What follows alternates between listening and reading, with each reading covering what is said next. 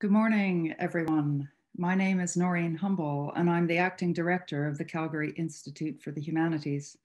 Before we get started with the 40th Community Forum, I would like to take the opportunity to acknowledge the traditional territories of the Blackfoot and the people of the Treaty 7 region in southern Alberta, which includes the Siksika, the Piikani, the Kainai, the Tsuut'ina, and the Stoney Nakoda First Nations, including Chiniki, Bearspaw, and Wesley First Nation.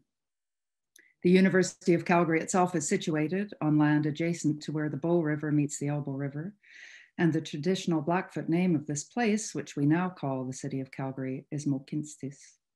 The city of Calgary is also home to Métis Nation of Alberta Region 3. We respect the treaties that were made on these territories. We acknowledge the harms and mistakes of the past, and we dedicate ourselves to move forward in partnership with Indigenous communities in a spirit of reconciliation and collaboration. And I would also like to acknowledge the diverse traditional territories of those of you participating in this broadcast from elsewhere, wherever you share in the bounty of Turtle Island. The CIH is the oldest humanities institute in Canada it was founded to support the study of the human experience beyond what the social and natural sciences provide. And it has long has a long history of civic engagement and of hosting events which bring groundbreaking scholars and scholarship into conversation with the broader community. It supports humanities research both within the university and without, and this community forum is our annual flagship event. The Community Forum was established specifically to bring together scholars and community participants to discuss key and pressing societal problems. Since its inception in 1981, we have missed holding a community forum only once in 2020. Though the state of the pandemic is far worse here in Calgary now than it was a year ago, we were determined to go ahead with our event this year, not least because the topic, the death of expertise, question mark, which we had set for last year, continues to be as timely and important as it was when it was first proposed nearly two years ago by our wonderful advisory council, uh, prominent community members, all of whom support and advise the Institute in a myriad of ways. When the topic was first chosen, we were already facing unprecedented questioning of traditional sources of authority in all sorts of areas from steadily increasing denial of climate change, increasing vaccine hesitancy, and an alarming acceleration in the election of populist politicians. The pandemic has, in many ways, only exacerbated the situation in the sense that this increasing questioning of traditional sources and models of authority has uh, more immediate life and death implications. At the same time, however, we can chart a long history of activist movements in the past century that have challenged the perceived blind spots of traditional expertise and authority, whether this is feminist questioning of male bias in science, AIDS activists challenging medical uh, orthodoxy for access to drug trials, or Indigenous groups protesting against engineering megaprojects or paternalistic development schemes. And this leads us to pose such questions as Is the current perception of the death of expertise overstated? Do our conceptions of expertise need to change? Are the current challenges to expertise part of a healthy public sphere or a sign of a dangerous slide towards populism and demagoguery? These and much more um, are some of the questions that our panelists today will examine and which you will all discuss afterwards, challenging our current experts here to address your concerns and queries about this topic. Before we get started, I have uh, two introductions to make. Um, first, I am uh, delighted to invite to give a few words of welcome Professor George Colpitts, the Associate Dean of Research in the Faculty of Arts here at the University of Calgary. Thank you, Noreen. Um, it's very, uh, it's a great pleasure to be here and um, say a few words. Um, I, I don't think it's any exaggeration to say that, um, well, uh, for quite some time, uh, we wait with anticipation uh, for the CIH to make its announcement of what its uh, annual community forum will be. And uh, so it, uh, it was a great pleasure to see the message come out about um, resumption of this, this forum and um, it taking place um, despite the difficult circumstances that you were highlighting, um, they've really become must attend events, at least for me and many within the University of Calgary and within the community of Calgary.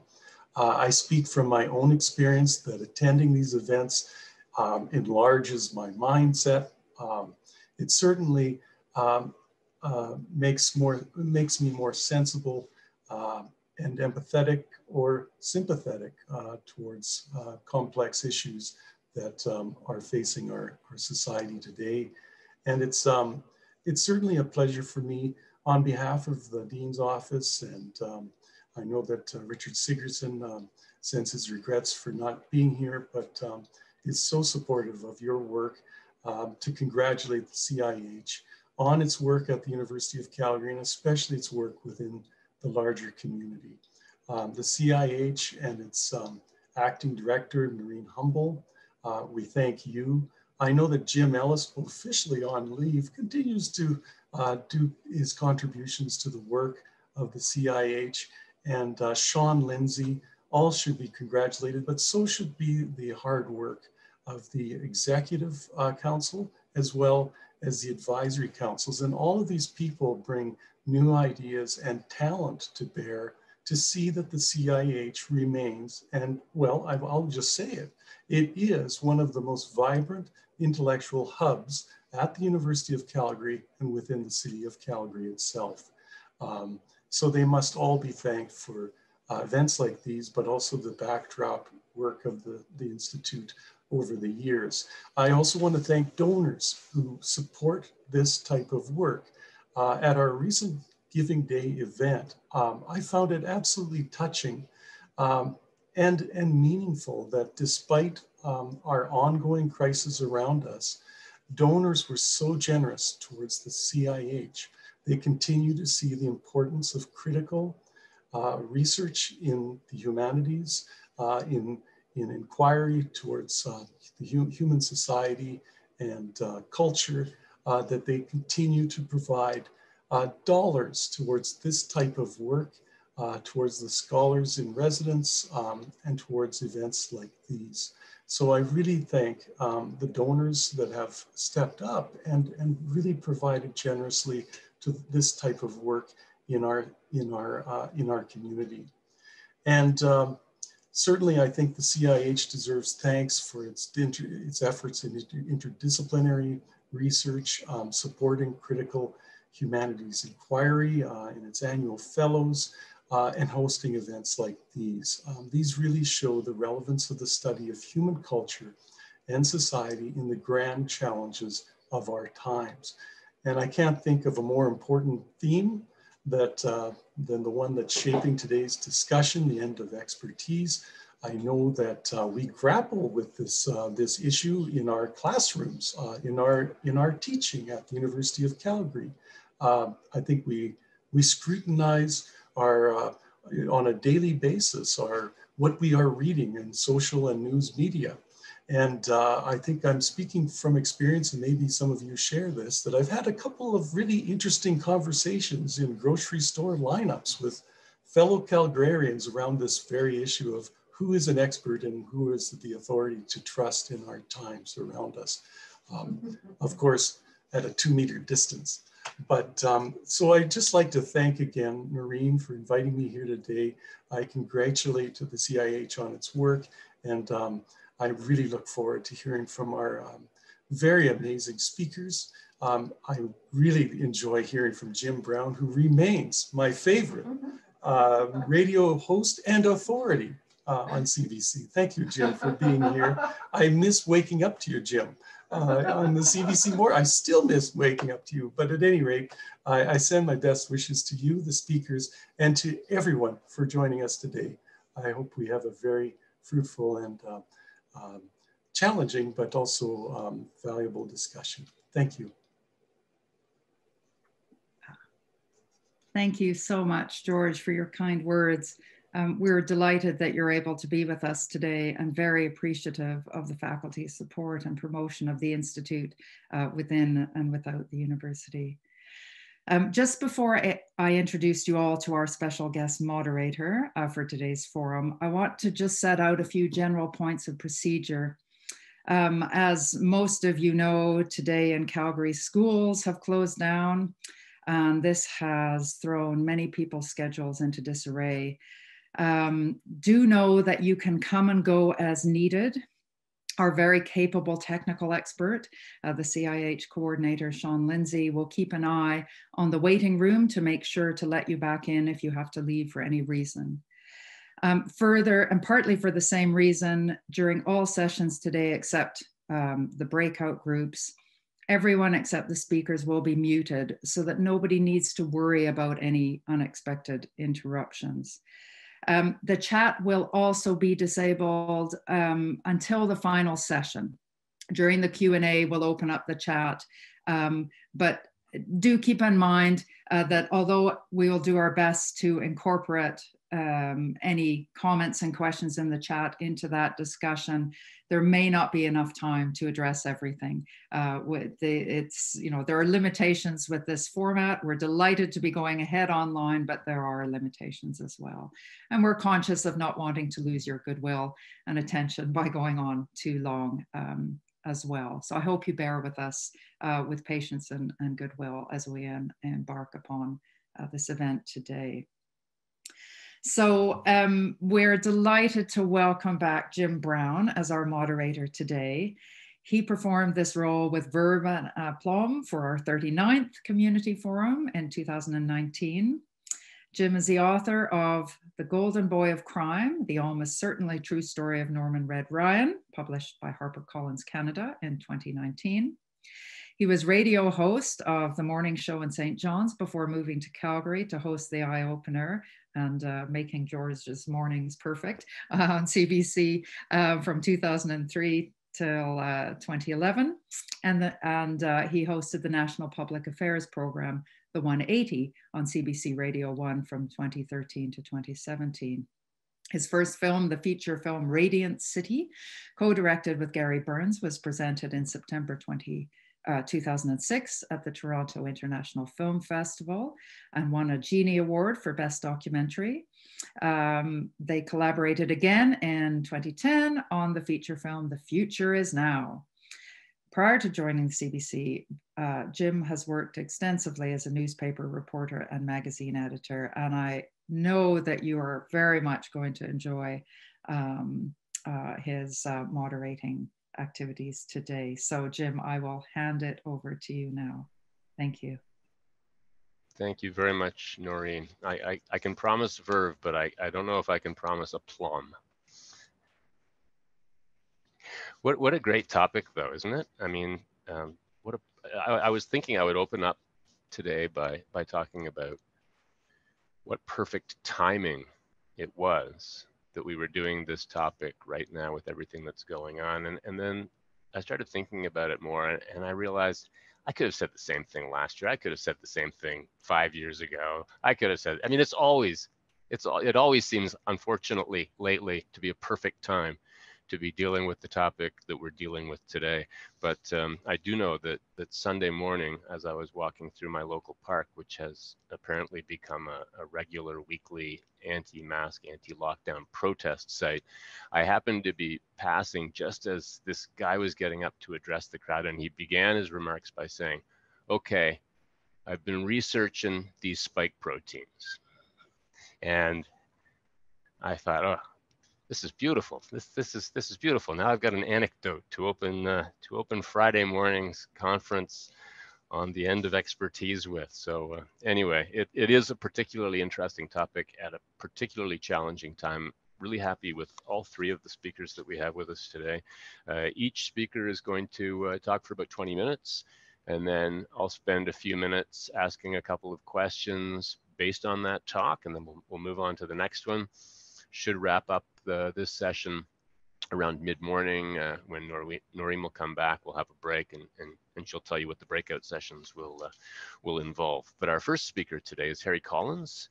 Harry is a distinguished research professor and directs the Center for the Study of Knowledge, Expertise, and Science at Cardiff University. And uh, his talk today is called Expertise is Not in Conflict with Democracy. It is essential to democracy. In fact, it is essential to humanity. So uh, please join me in welcoming Harry Collins. Right. I think now you should be able to hear me and see my slides. Has everything worked? Great. Uh, let's go to the first one.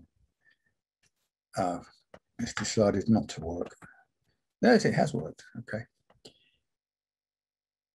Um, I'm an academic. I've been, I'm a sociologist of knowledge. I've been studying the nature of uh, science since 1970. Uh, and I was one of the pioneers of what became known as social constructivism. And for anybody who knows the history of this kind of work, I was on what many people would call the wrong side during the science wars. And I was roundly attacked by many scientists uh, uh, for claiming that science was a much less certain business than it was usually presented as being. Um, and uh, so I was a sort of bad boy uh, up until about the year 2000, um, when I was worried about the revolt against mumps, measles, and rubella vaccine. And myself and a colleague, Rob Evans, wrote a paper saying, look, if science studies, as it was called then, or the sociology of scientific knowledge, carries on going in the direction it's going, then we're going to destroy the distinction between scientific expertise and ordinary opinion. And this isn't going to be very nice if that happens. And we explained the various reasons why this would be the case, not least that we'd lose our own jobs since uh, we were only paid because we were supposed to be experts. And um, we wrote the paper. And uh, ever since then, I've been fighting people who say this paper is wrong and that we've got to stick with the old ways of supporting the democratization of science and uh, supporting the value of ordinary folks' opinion uh, as regards uh, uh, what's true and what isn't true, even on technical matters. Um, so we wrote this paper, and we wrote various other papers, and then uh, I was a, a bit of an outsider in my group. And then Donald Trump came along and, in a sense, did my academic position and those of my colleagues quite a big favor because it then became obvious that what we were saying had some truth in it. Um, that Donald Trump was against expertise. And most people, anyway, thought, well, Donald Trump is not what we want the future to be. And I have to say, as far as I'm concerned, that night in November, when it looked as though Donald Trump was going to win re election, before they counted the postal ballots was probably the most no well it was. It was the most frightening day of my life. I'd had more frightening moments like when i had a car crash but it was the most frightening day of my life because i couldn't see how the future was going to unfold in any satisfactory way if donald trump won the second term. And um, I'm still nearly as worried because I know that the uh, voting preference figures in the US haven't changed that much. Um, it's still possible that he will win re-election or somebody like him will win re-election in 2004. And you, you should understand my talk uh, in that context. Why is expertise vitally important? And, and you, you need to realize this because a lot of my colleagues were telling me at the time when Trump was gaining salience that it's nothing new. All politicians are liars. You know, uh, Nixon was a liar, a great big liar, and Trump is just continuing tradition. But that's to misunderstand what was going on. And uh, this was captured by de Rochefoucauld's uh, remark hypocrisy is a tribute tribute that vice pays to virtue. So Nixon, of course, he was a liar, but he tried to hide it. He tried to be a hypocrite. And to be a hypocrite is a virtuous position regarding the truth, because every time you're hypocritical, you're showing that you value truth. But Trump wasn't a hypocrite. Trump said, Look, I'm telling you a lie, and you can see I'm telling you a lie. And that's, I can do that because of this political power I have, because I represent the will of the people. And I think Trump is the first Western leader, whatever that word means, since the 1930s to abandon hypocrisy and attract truth head on.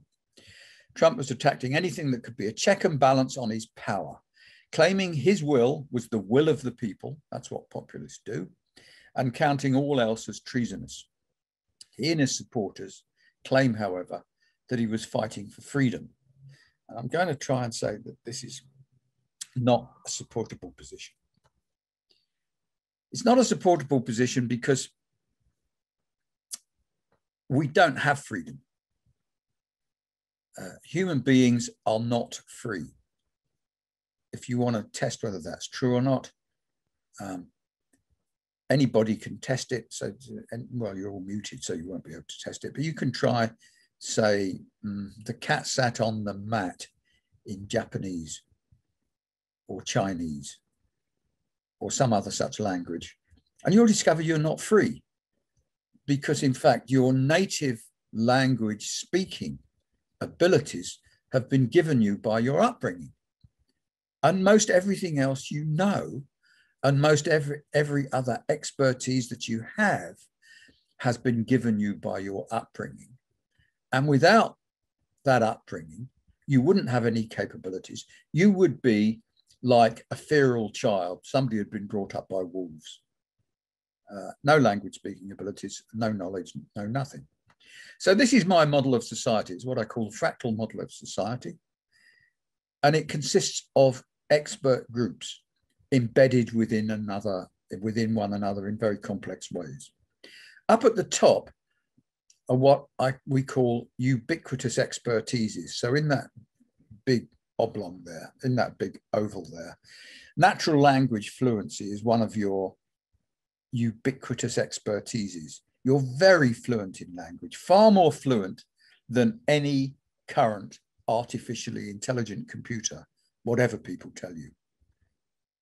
Uh, and it's a tremendous expertise, which is very hard to get to grips with. Um, another thing you understand is how close to walk to walk to people on the sidewalk, uh, depending on whether it's crowded or not, depending on what time of day it is, and depending on how many people are walking towards you, and all the other sorts of things that make it possible for you to live in society. Then underneath this are all the small expertises you'll see there are scientists there, there are fortune tellers there, there are farm workers there, and so on. Next slide. So societies are not made up of individuals they're made up of domains of expertise. Different societies are different according to the domains of expertise of which they're made up. And individuals are combinations of a subset of such expertises as are made available in their society. That's what a person is, a set of expertises. Here's an image, a cartoon of a person. That's you. Okay. And it depends which bits of society your arms and legs in that kind of cartoon stretch across, which determines who you are. There's no pure freedom of choice. Human abilities and choices are enabled by society. Now, uh, in, in one of my books called Rethinking Expertise, also written with Robert Evans, we have a thing called the periodic table of expertises. And there it is on the top left-hand side, side. On the top line, there are the ubiquitous expertises that are in the top oval of the fractal model of society, which is in, on the bottom right of this slide. In the second line down, there's membership of expert groups like physicists or doctors or fortune tellers, actually, because that's a skill as well. Uh, and uh, in the in the third line down are what's called meta expertises. And meta expertises are very, very important. Meta expertises are our abilities to know who to ask if we want to know the answer to a technical question. So part of my meta expertise is that I know that if my car breaks down, I should take it to a garage. And if my health breaks down, I should go to a doctor, not vice versa. I was taught all that in my upbringing. Uh, and uh, that is, that meta expertise is a ubiquitous expertise as represented in the yellow box in the bottom right hand corner there. And what my talk is moving towards is saying we've got somehow or other to re-establish the right ubiquitous expertises in society. We can't teach individuals to understand the content of all those little expert groups. That's far too hard. But we've got to we've got to teach people to know the right places to go if they want to get technical expertise.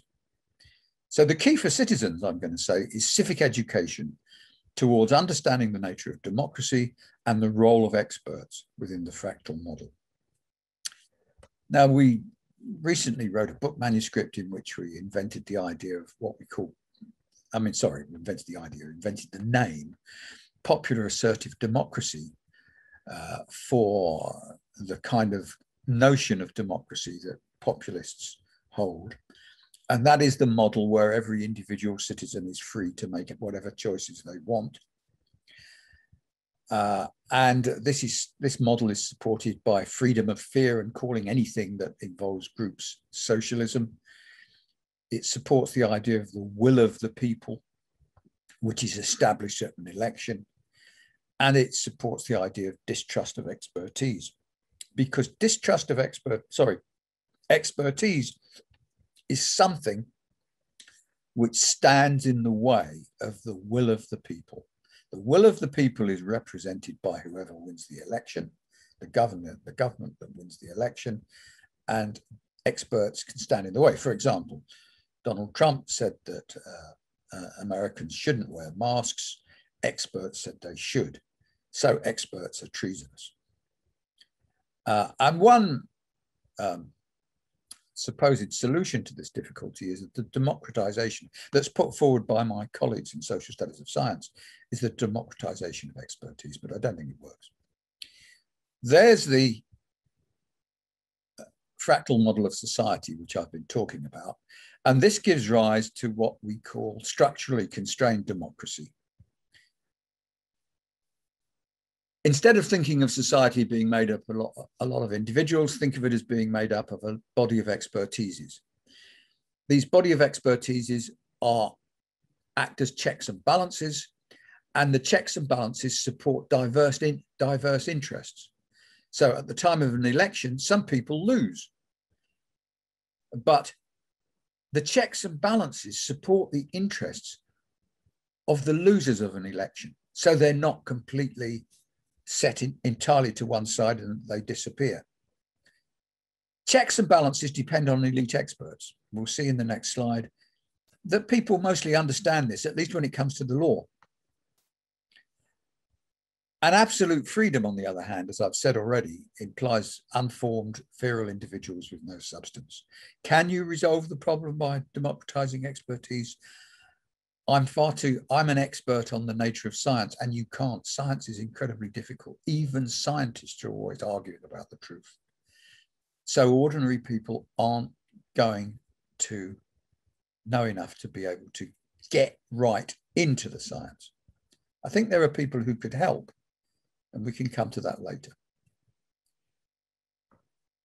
I said experts stand in the way of popularizers. This is a headline from the right wing British paper called the Daily Mail, presenting some judges who said that uh, Johnson had to take the Brexit decision to Parliament before he made it.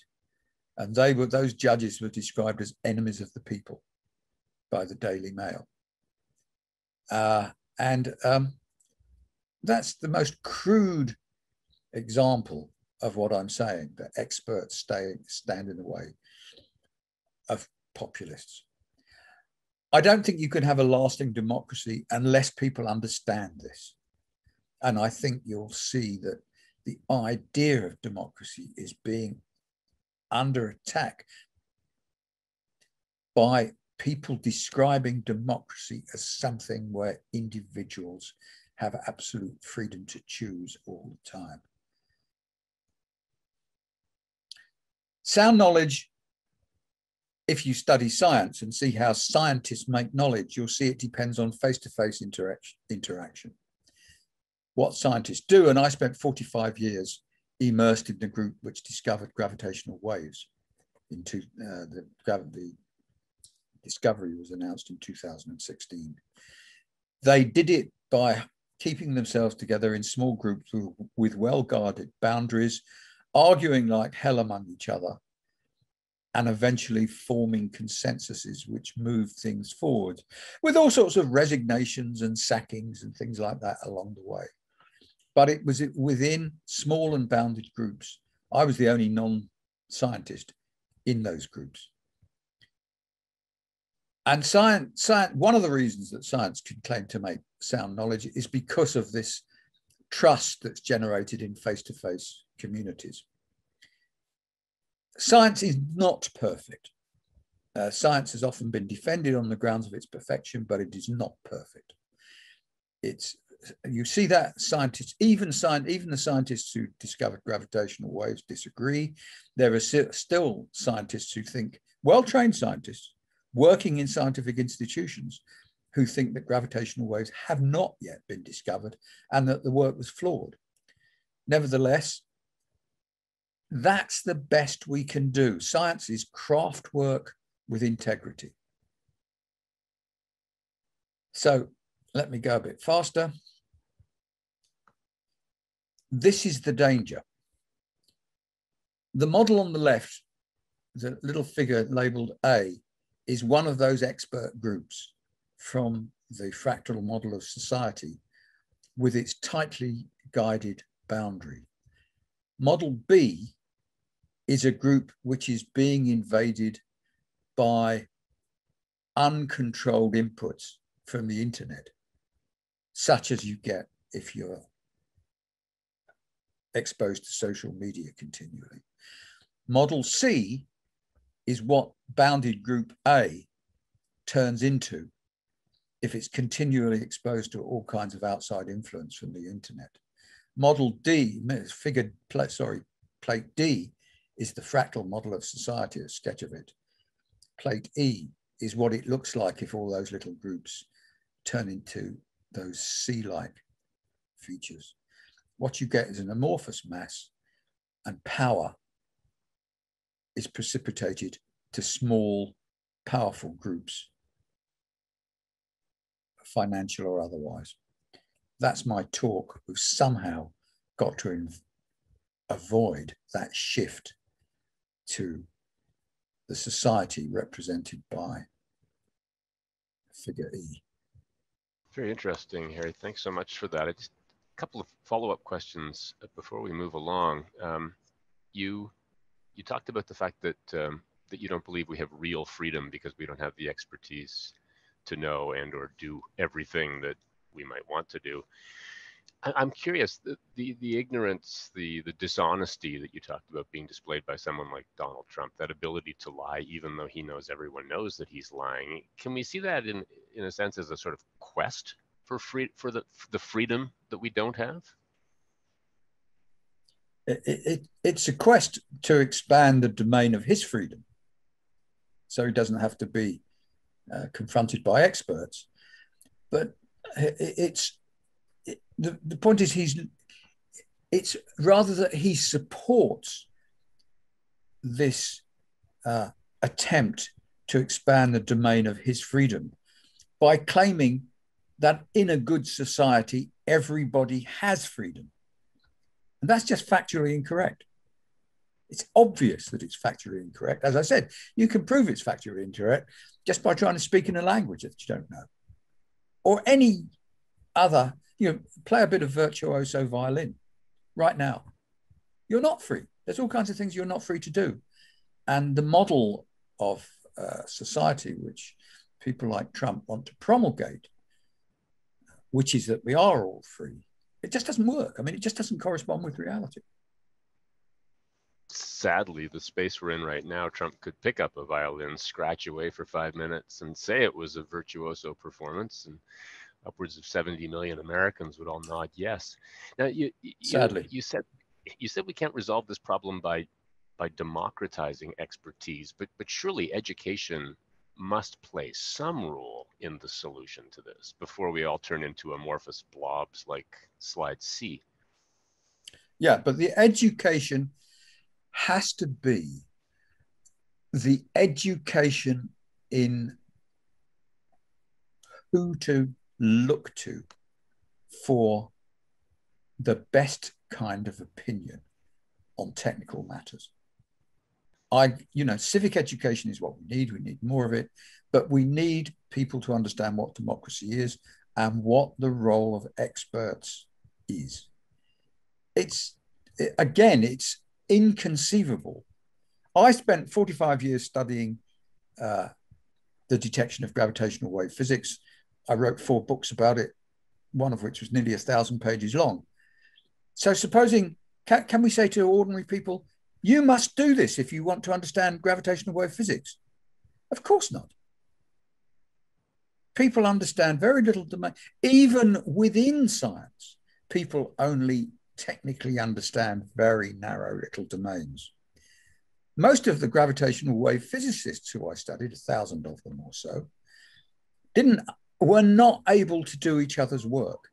They pretty well understood each other's work because they spent they went to conferences three or four times a year, talking to each other, learning the practice language of their scientific domain.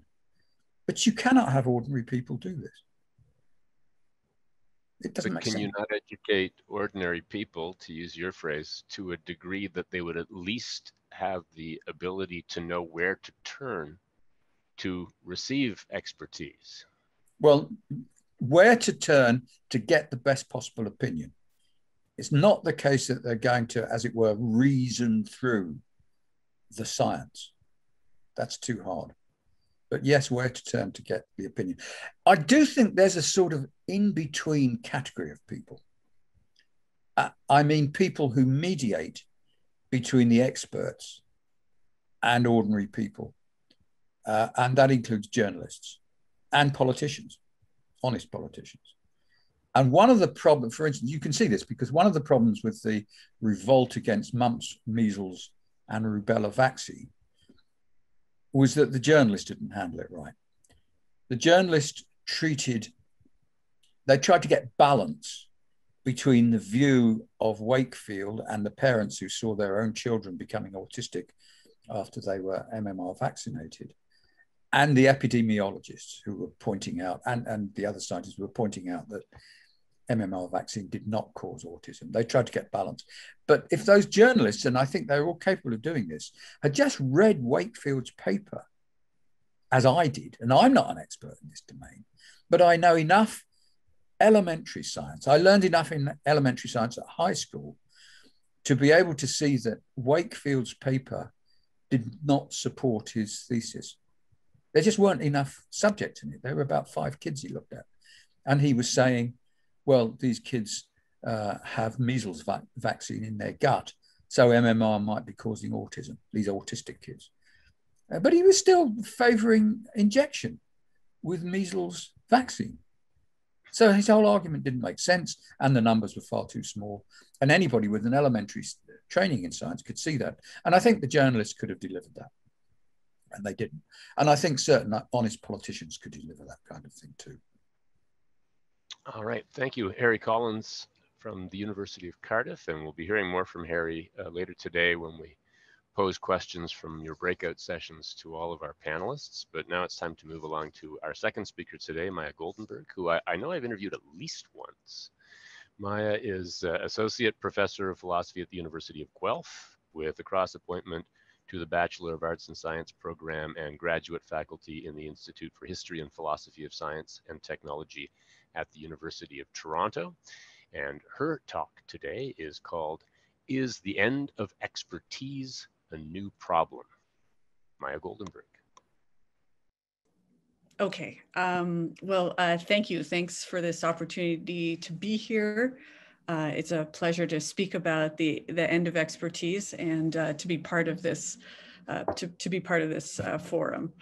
So, uh, so my question was: Is the end of expertise a, a, new problem, or you know, the alternative is is is it more of an more of an old problem?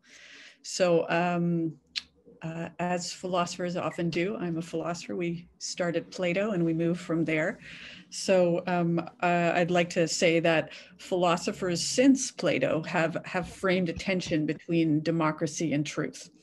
Uh, the general concern, the tension between democracy and truth, is that uh, the masses lack the intellectual refinement to discern matters of truth and govern themselves accordingly. So the Western canon is full of ideas about how to how to protect the public from themselves. Now, the so-called masses have at times objected to being seen as incapable, and, and populist movements have arisen uh, that decree experts as being out of touch elites. Uh, I want to ask the question, uh, is the current worry that we've reached the end of expertise more of that same perceived tension, or is there something different about the current situation?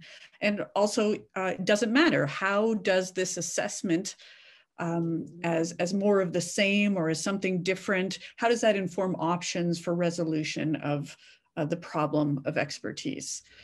So first, just to how, how I define the end of expertise is uh, is that it's it's a complaint. It's expressed frequently by science communicators and by political watchers. Uh, the complaint is that nobody listens to experts anymore uh, about climate change, about vaccines, about uh, multinational trade policies, um, and, and, and many more things. Look where we are now for all the promises by world leaders during this pandemic that they were following the science, uh, expert advice was still often, often ignored. So the expression, the end of expertise, captures a host of pressing concerns. Um, how will people make good choices? How will they make informed choices? Uh, how will people come to agree on anything? And without good answers to these questions, the worries that democracy unravels from one of rational rule by the people, so the people making good, rational choices, into some kind of governing by the whims of the mob. And society would likely will likely collapse when there is no widespread agreement possible. There's been uh, on the end of expertise there's been a flurry of writing on the end of expertise. It's been it's pressing now but it's been uh, it's been uh, pressing for a number of years as as uh, as our moderator uh, first first said um, the politics of Brexit in the UK and Trump in the US are held up as exemplars of the end of expertise, or some people call it the death of expertise. That sounds a little more dramatic. So if you think back to these two events, this was 2016, these were two lead stories in global politics where the public seemed to ignore the advice of economists who thought leaving the EU did not make good economic sense. Meanwhile, in the US, at the same time, the public, at least parts of the public, didn't seem to care that the presidential candidate and then president didn't know much about policy and had no experience in government. So I'm just uh, want to remind you of a few solidifying moments. Um, uh, so I captured a few, just a few screenshots here. Uh, there was this moment when uh, asked on live television to name one economist that supported the UK's exit from the European Union, we had Conservative MP Michael Gove, who was a supporter of Britain's departure from the European Union, made the famous response I think people in this country have had enough of experts. Um, similarly, Glyn Davies, another uh, Conservative MP, dismissed lack of expert support for leaving the EU. He tweeted in October 2016, personally never thought of academics as experts, no experience of the real world. Uh, move over to America, then presidential candidate, this was Donald Trump, was echoing this view. He told an audience in Wisconsin in April 2016, uh, I'm quoting Trump here, they say, oh, Trump doesn't have experts. You know, I've always wanted to say this. I've never said this before with all the talking we do, all of these experts. Oh, we need an experts. The experts are terrible. So, what are the politicians doing here? They're rejecting elite values. Uh, experts, they say, serve the interests of the rich and powerful rather than the interests of the common people. So Gove and Trump, they were styling themselves as the people's politician by maligning experts. Now, those who lament the death of expertise or the end of expertise say this charge of elitism is surely untrue. Uh, some experts might be corrupted by political or corporate interests, but experts who do their jobs well are at the service of science, facts, and truth. And by rejecting experts, then, the public are turning away from science, facts, and truth. And this is dangerous because even if we disagree on political issues, we need facts and we need science as our common ground. So experts are, are framed here as purveyors of facts. They, uh, they provide the social and political glue that makes constructive political deliberation possible. Once we lose that grounding in science and facts, is we fall into chaos. So, so failure to recognize the rightful place of experts is what we're calling the end of expertise. Now, polit political scientists call this turn away from experts epistemic, epistemological populism, or oh, I see I wrote epistemic, I meant to write epistemologic populism, but they probably both work. Um, when we talk about populism, we usually think about political populism, which challenges the elite's political power. Now, uh, epistemological populism challenges knowledge elites, or, or what we call experts. It, it exalts the folk wisdom of the common people. That's the usual rhetoric about uh, the common man and what they think. Um, I'll give you an example. Um, during his short tenure consulting to the White House, the white supremacist Steve Bannon would frequently speak of the working man's truth. That's the same idea as, as epistemological uh, populism. So why are we now embroiled in a politics of knowledge and a conflict over expertise? Why are we in a post-truth epoch or the end of expertise? The answer is because democracy and experts have an uneasy relationship. They exist in a kind of tension that we're still working on. We're still trying to, to refine it and get, get right. So let's look at the two ends of, uh, imagine an expert run society. We call that a, te a technocracy. That's the term for it. That would be a society run by experts, and that might sound appealing at first because their knowledge and their intellect and their skills could result in very well thought out policies. So that, that might sound appealing to you. But rule by experts is not democratic. Uh, experts, of course, are an elite group because they have specialist knowledge. They have knowledge that not everyone has. Um, and uh, in other words, specialist knowledge is, is, is predicated on not everyone having it. And because of that, not everyone gets a say.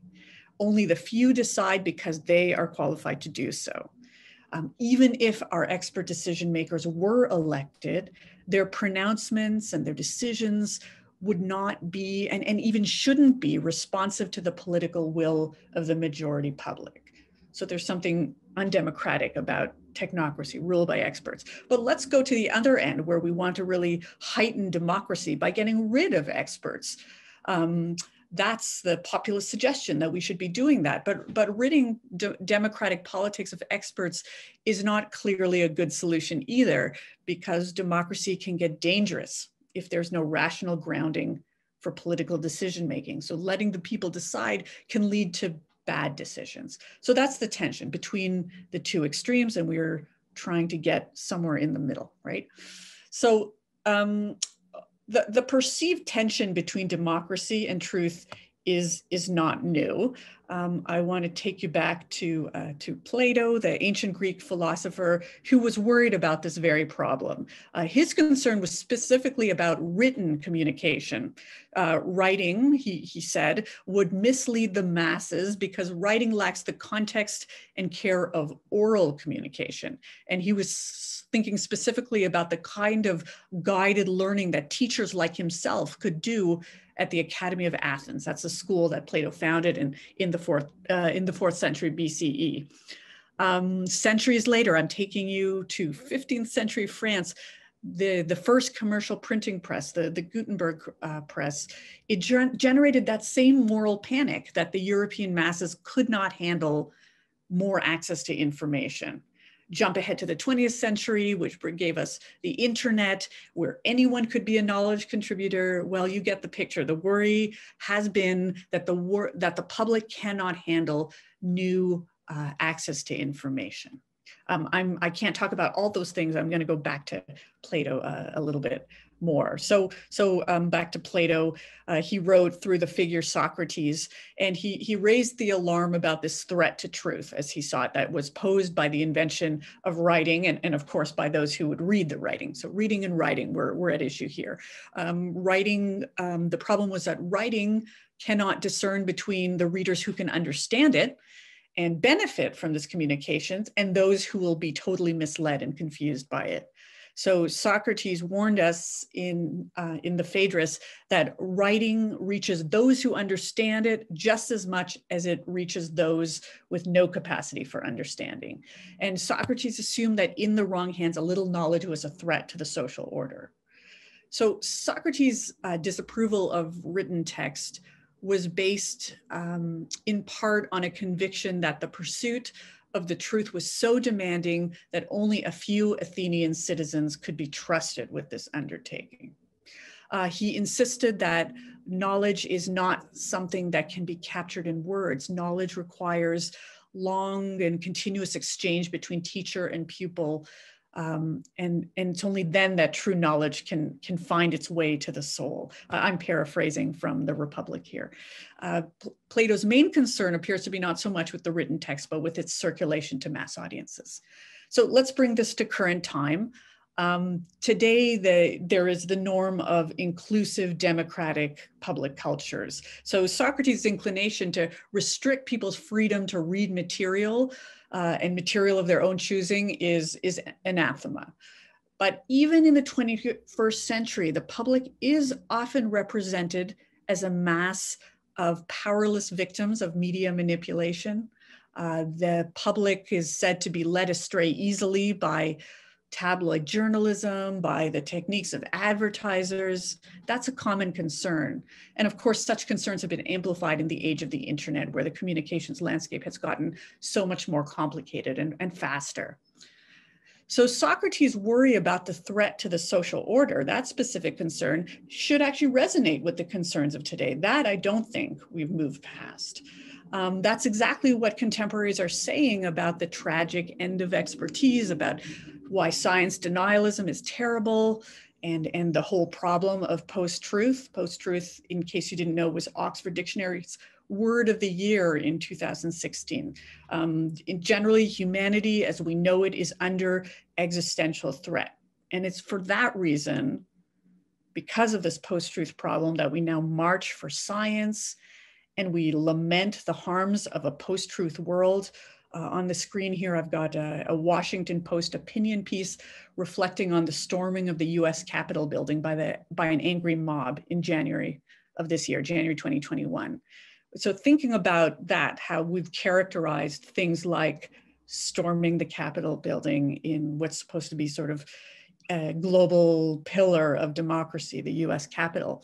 There were many ways to interpret those hardships that the US was feeling at that moment, the social divisions, the violence. Uh, it could have been the harms caused by income inequality. It could have been political injustice. Uh, it could have been many sort of political problems. Instead, the, the takeaway line, the focus has been on truth and science as the missing part of social cohesion. So Plato's warning seems to be still heard here that the democratization of knowledge is dangerous. That's what the problem is. So these populist movements that brought us both Trump and Britain's exit from the EU um, is in apparent rejection of, of the cultural values of the political establishment has, has prompted renewed concern about the supposedly fragile status of truth. That's the post-truth problem and the threat that democratized knowledge brings to it. So democracy and truth are still in tension. Um, and that's because the masses cannot handle uh, the unregulated uh, creation and proliferation, proliferation of knowledge on, on social media platforms. So truth, uh, once again, the suggestion is truth once again needs to be constrained. Uh, pupils need to be guided much like Plato caution, Plato caution. So the public need some kind of learning and guidance. So the, this, the solution to a post, the problem, if, if we call this problem post-truth, the solution seems to be resituating and reinstituting of experts as the purveyors of truth, as the givers of expert knowledge, um, and, and, and recognizing that experts are crucial to rather than counter to democracy. That's exactly what the first speaker, uh, Harry Collins, was arguing for.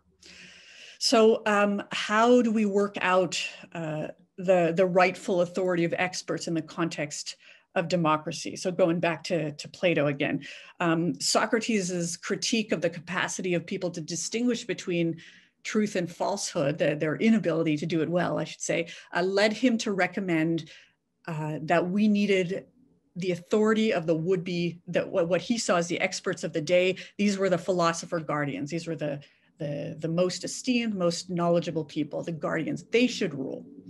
Philosophers, as he said it, have moral expertise. They've got sophisticated understanding of justice and aesthetics, and that made them the people most likely to know truth, to be the purveyors of truth, and therefore they were the right people for political rule. They were the experts. So, so uh, Socrates openly derided the authority of the Athenian demos, that's the public, um, because the people were not intellectually equipped to grasp the truth. He promotes deference to experts, and as far as he's concerned, what most people think on moral and political matters is, is far less important than the views of, let's say, one person who really understands the issues that are at stake. That would be the expert.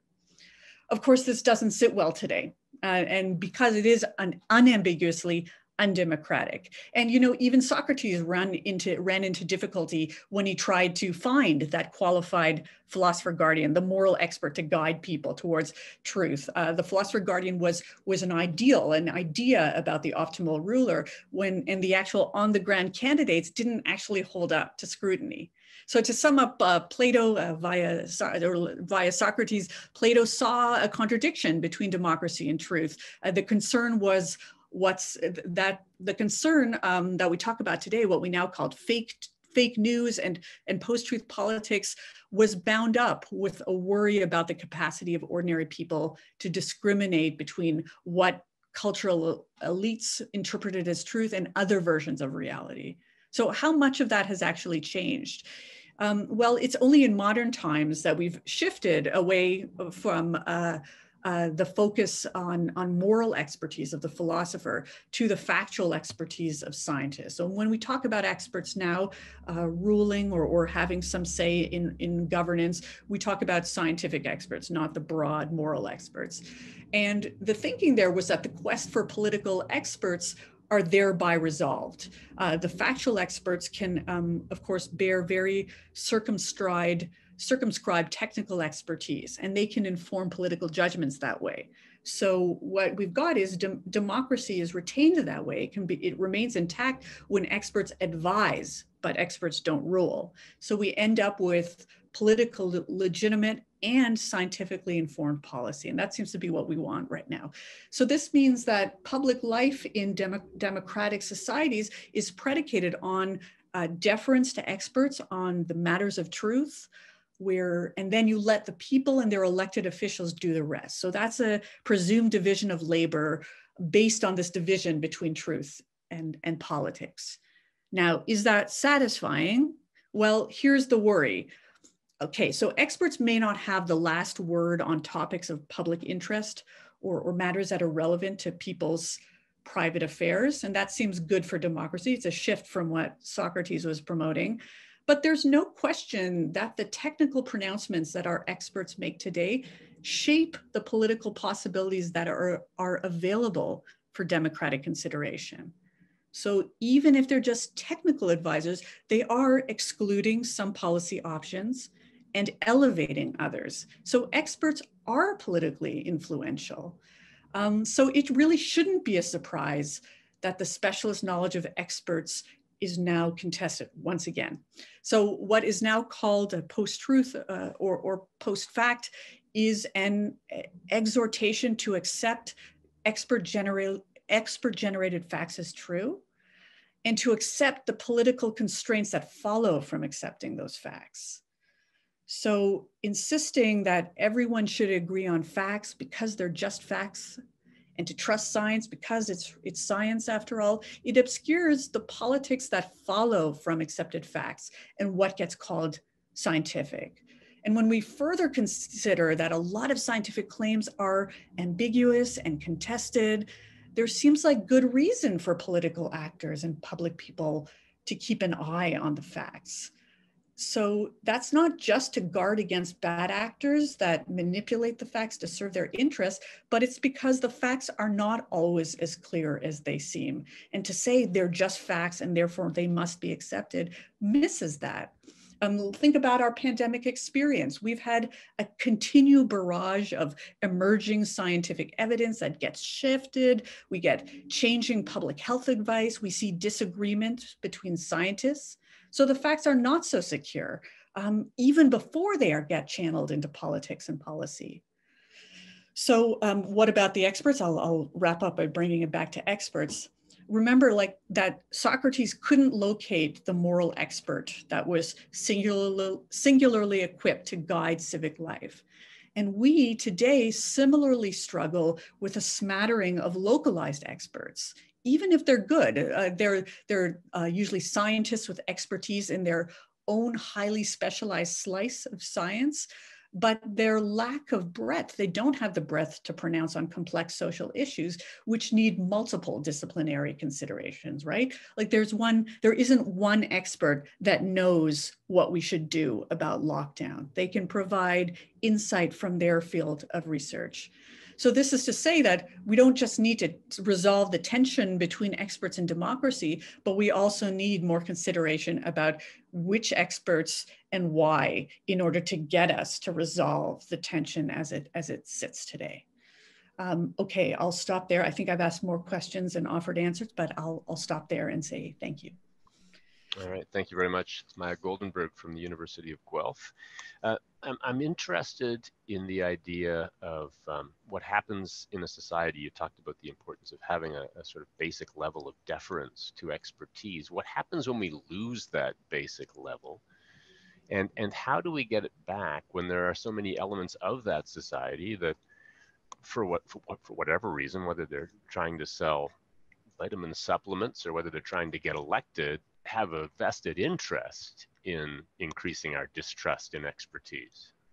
Right. What, what you're describing is that uh, expert expertise has been politicized, just as science and facts have been politicized. There isn't an easy answer about what to do with that. I will say they say the doubling down on facts and science and marching for science doesn't quite do what we're what we're looking for. I, am not a relativist about scientific claims. I wholeheartedly agree that uh, science offers the best methods of getting us towards the right answers, but that doesn't mean that we're going to get those right answers all the time. And it also doesn't mean that everything follows from getting the right answers, right? Our, our, our policies, uh, the ways that people's lives are impacted by them, there are many non scientific considerations that go into policies. So even if we have the science 100% right, it doesn't mean that the, the right policy just follows from there. So, I mean, what we need to do is, is uh, I, th I think, focus on sort of trust and social solidarity issues. You know, when I when I think about you know the storming of just because we had that example the storming of the US Capitol there was a lot more going on there than post truth and to say that it's because some people read something on the internet it just doesn't and and and of course there were active disinformants telling them that the election was rigged and that kind of thing. But there was so much more going on there than that. There was disinformation but there's also uh, a culture of uh, of of um, not trusting certain sources of polarized news landscapes of um, deference to uh, to certain authorities, right? It is true that they would, that those followers would believe anything that Donald Trump says. And it's true, they don't care that he lies because he's allegedly speaks some broader truth that isn't captured in factual claims. So as, as puzzling as that is, it means it tells us that the reliance on the security of facts is is not the problem. It's that we've got gr- greater social divisions that need to be addressed, and we have to pay more attention to those rather than uh, rather than um, double down on science and facts. But you, you talked earlier in your presentation about the, the great fear that we'll end up in a situation where we're being governed by the whims of the mob. And it occurred to me when you said that the, most of those whims don't come from the mob. Most of those whims come from outside the mob and then are adopted by the mob. Right. Uh, right. There's media manipulation. All those things are are, are true. So I, I agree with most of the characterization of, of things that even Socrates was offering. And since then, that that there's uh, uh, active disinformation, there's manipulation by uh, vested uh, interests, and there's a there's a, a publics that are struggling to find their way and I, I, I, don't think science is going to secure that. But what, what we could do is think about why it is that something that was once sort of left unquestioned. So science, I, I, I, you know, I'm a philosopher of science, and philosophers of science will always say science has always had values. Because of that, there have been political interests in in science. It's not to say that science is biased by politics, but it is shaped by politics nonetheless. So we need to think: what are the values that are shaping our expert institutions? Uh, our scientific uh, governance and, and, things like that. There is certainly, you know, if you if you listen to the co- complaints that are being made by the people who are rejecting scientific claims, it, it, I mean, it sometimes takes a veneer of we don't believe science, and I think I know better more about spike proteins than you do. But it's usually some kind of broader social critique that science is serving the interests of power and not the interests of the people. So I look at what does that mean to say serving the interests of power and what are the power interests that uh, that are being uh, amplified in in government policies and which ones are being suppressed. There's still so much to follow up on here, and, and hopefully we'll get into more of it in our conversation following the breakout sessions. Maya, thanks once again. That's Maya Goldenberg, and uh, now it's time to introduce our third speaker this morning. Stephen Sloman received his PhD in psychology from Stanford University in 1990 and began teaching at Brown University in 1992, where he is currently professor of cognitive, linguistic, and psychological science. And uh, Stephen's presentation today is Do we trust experts? And if not, why not? So here's Steve Slo- Stephen Sloman. So the you almost had the title right. It's actually "Do we trust experts? Why not?" Which I, I thought was slightly more clever than yours, but yours was probably more accurate. Um, so thanks very much for the invitation, and thanks for. Um, I've already learned a lot this morning from two excellent, sophisticated speakers. Let me see if I can get my slides up. Can you see them now? Okay, great. So I do fashion myself a scientist. So upon given the task of talking about the end of expertise, I thought I should um, look up some data. So uh, I went to Pew and I found out um, what they think Americans think of experts. Um, and the story actually, I was a little surprised. The story isn't quite as sad as the picture that's been painted so far this morning. Um, so what you can see here is that Americans really trust the military. Um, half of them a great deal, half of them a fair amount. And their trust for scientists isn't that much lower. Their trust for medical scientists is, is pretty good. Once you start getting to school principals, trust decreases a little bit. Uh, trust of religious leaders is surprisingly low. And then we start getting into the news media and elected officials. And of course, there's no trust there. Um, here's some more data collected on the same issue. This comes from a talk I saw by Esther Duflo, who won the Nobel Prize in economics recently. Uh, so you see pretty much the same picture in this poll that was uh, got done by YouGov, which is also supposed to be a representative sample of American citizens. And um, it looks like the most trusted group are nurses. Um, doctors, again, are pretty high. Scientists, still fairly high. Uh, weather forecasters, less so. Sports commentators, now we're starting to see real mistrust.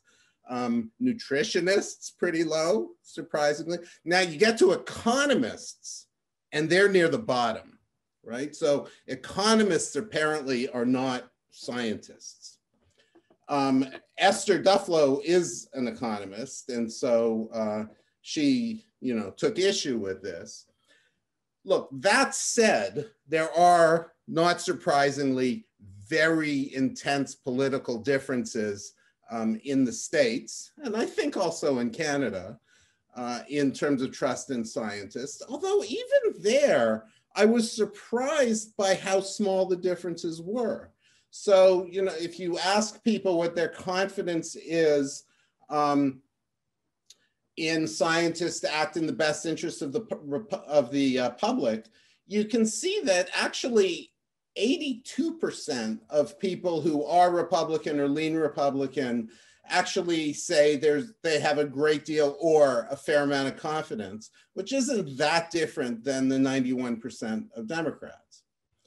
Um, how much you know about science tends to make a difference. The more you know, the more trust there is. Uh, but there's less of a difference than you might imagine. Where differences start arising, getting bigger, is when you ask, as, as Maya did, um, what role should scientists have in our society? And there you see a bigger difference between Democrats and Republicans. Scientists should take an active role in policy debates. Democrats, 73% of Democrats say yes, only 43% of Republicans. Scientific experts are usually better at making science policy decisions. There's a 20% difference scientists' judgments are based solely on the facts. That's an interesting kind of moral judgment that distinguishes Democrats from Republicans.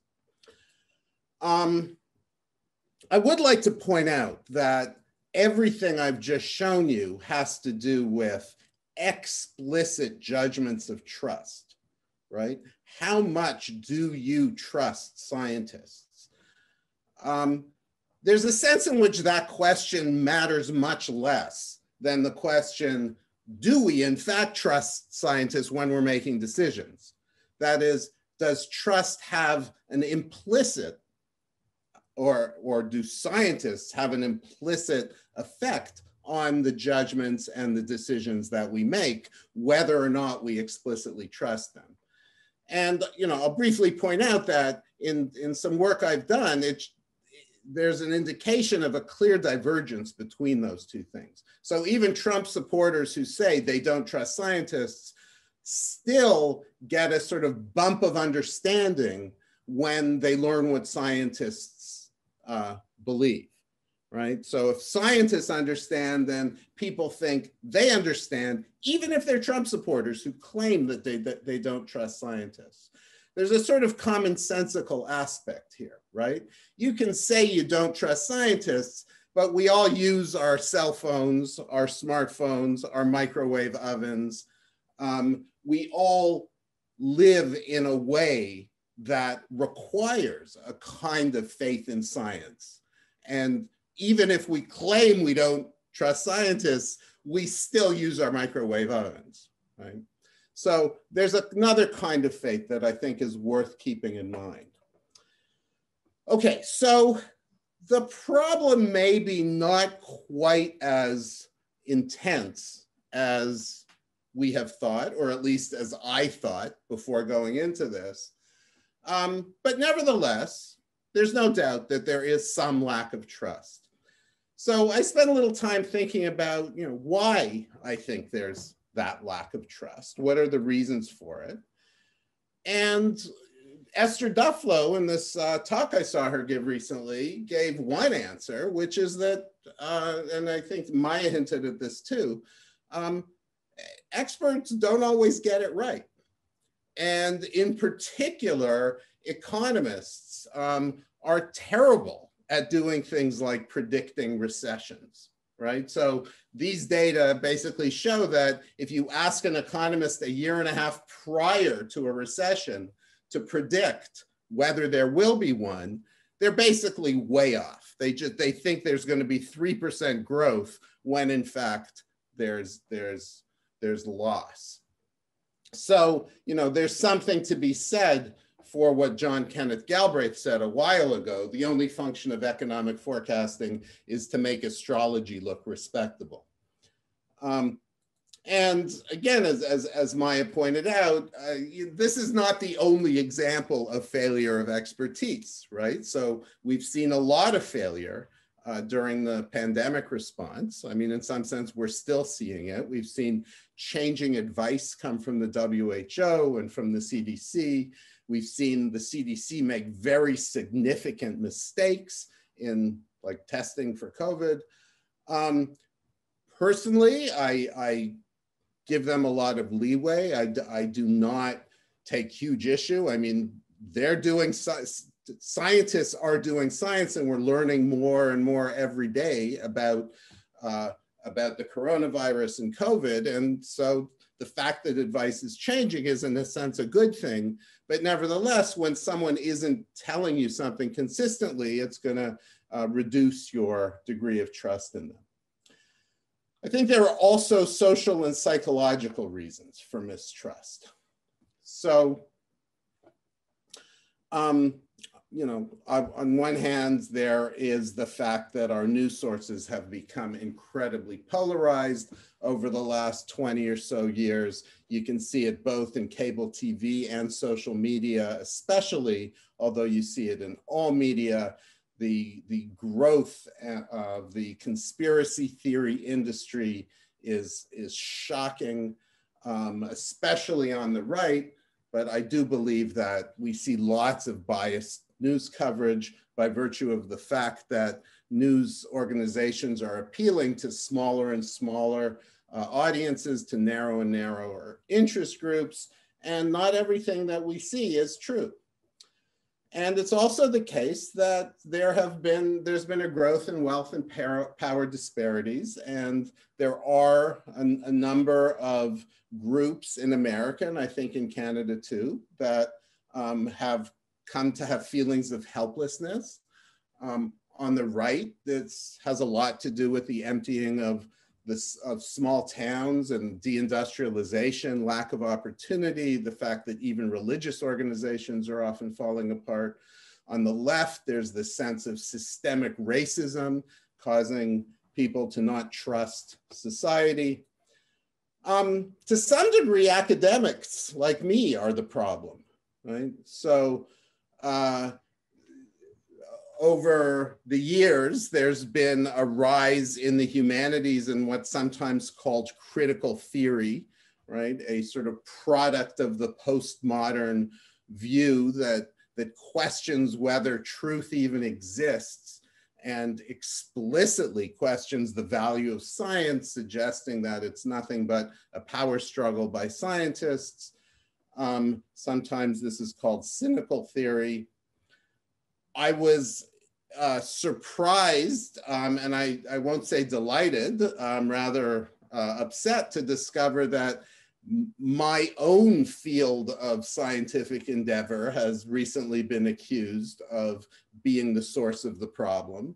So there's been a lot of work in the field of judgment and decision making, led by um, Danny Kahneman, a Nobel, another Nobel Prize winner, and his uh, um, collaborator Amos Tversky. And what they've done is to convince a lot of people in the West to pay attention to academia that human beings are irrational, that we survive by uh, using heuristics, rules of thumb, and tricks that um, allow us most of the time to get by effectively but to lead to certain systematic errors, mistakes. And in that sense, there's a kind of fundamental irrationality in human beings. And I sort of grew up with this belief, um, and I think it's true. Uh, but the claim has been made that it's that the, the notion that human beings are irrational has come to pervade our culture and has made it impossible to trust others including scientists, because after all, scientists are human beings too. So what I'd like to suggest is a kind of um, analysis that is consistent with this last final JDM view of the nature of irrational human beings and say something about what it is about people that I think allows the kinds of ideas that we've been talking, that I've been talking about to take hold. Um, and so, you know, my first observation is that you don't have to study psychology or, or cognitive science very long to, to appreciate that people are not libraries of information and we're not calculators or computers that derive true theorems in a systematic way. Um, we're not storehouses of data nor objective assessors of it. So I'd like to sort of summarize the four uh, fundamental properties of human beings that I, that I think create bias. The first is that we tend to believe what we understand. So somebody says to you, um, it's raining outside. Most human beings believe, come to believe, it's raining outside, right? You don't first say to yourself, I wonder what evidence this claim is based on. You don't evaluate it, you just accept it. And it turns out that we do the same thing even when political claims are made, even when claims are made that are very fundamental to our lives. Now that's true as long as the person isn't, as long as we're not hearing something that we already disagree with right? So we do live with what's sometimes called confirmation bias. Uh, we accept things that are unfamiliar or that are familiar and we believe, but we do respond negatively if we can tell that what the person is saying is inconsistent with something we, we uh, hold, uh, that we consider valuable. Okay, the second observation is that people tend to focus on information itself and neglect its source. So it doesn't really matter who tells you it's raining outside, we're, we're gonna, we tend to believe them. Or if we're hiring someone, if we get a really positive letter about that person, then we'll believe the letter a little more if it's from a source that we're familiar with, that we know and trust uh, and a little less if it's from a stranger. But that difference is actually very small. So the source of information tends to be underweighted in our judgments, and we just focus on the information itself. Third, we shouldn't think of information as in as sort of, of facts, right? We don't simply observe the world as data and take in what we see, but we rather interpret things in ways that are consistent with our norms and values and expectations.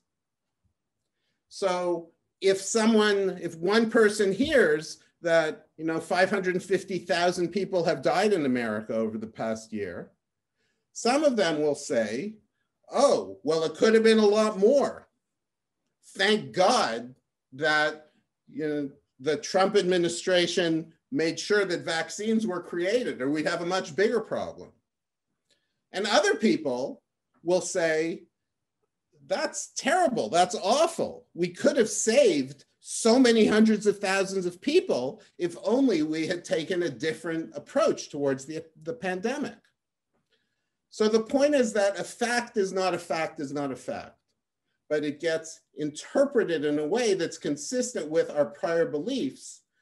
And more importantly, it gets interpreted in a way that confirms our identity, right? So generally, we'll take facts and we'll understand them in such a way that we think the people around us will understand them because we want to agree with the people around us. It makes life much easier. We're less likely to become outcasts. And in fact, there's data showing that you can give people exactly the same data.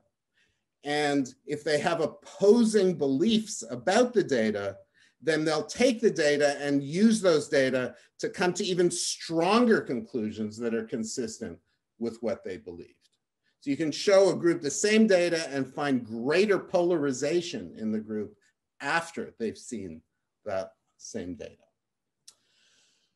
Fourth point is what I'll call ignorance in the community of knowledge. And that's really the idea that I'm bringing to the table today.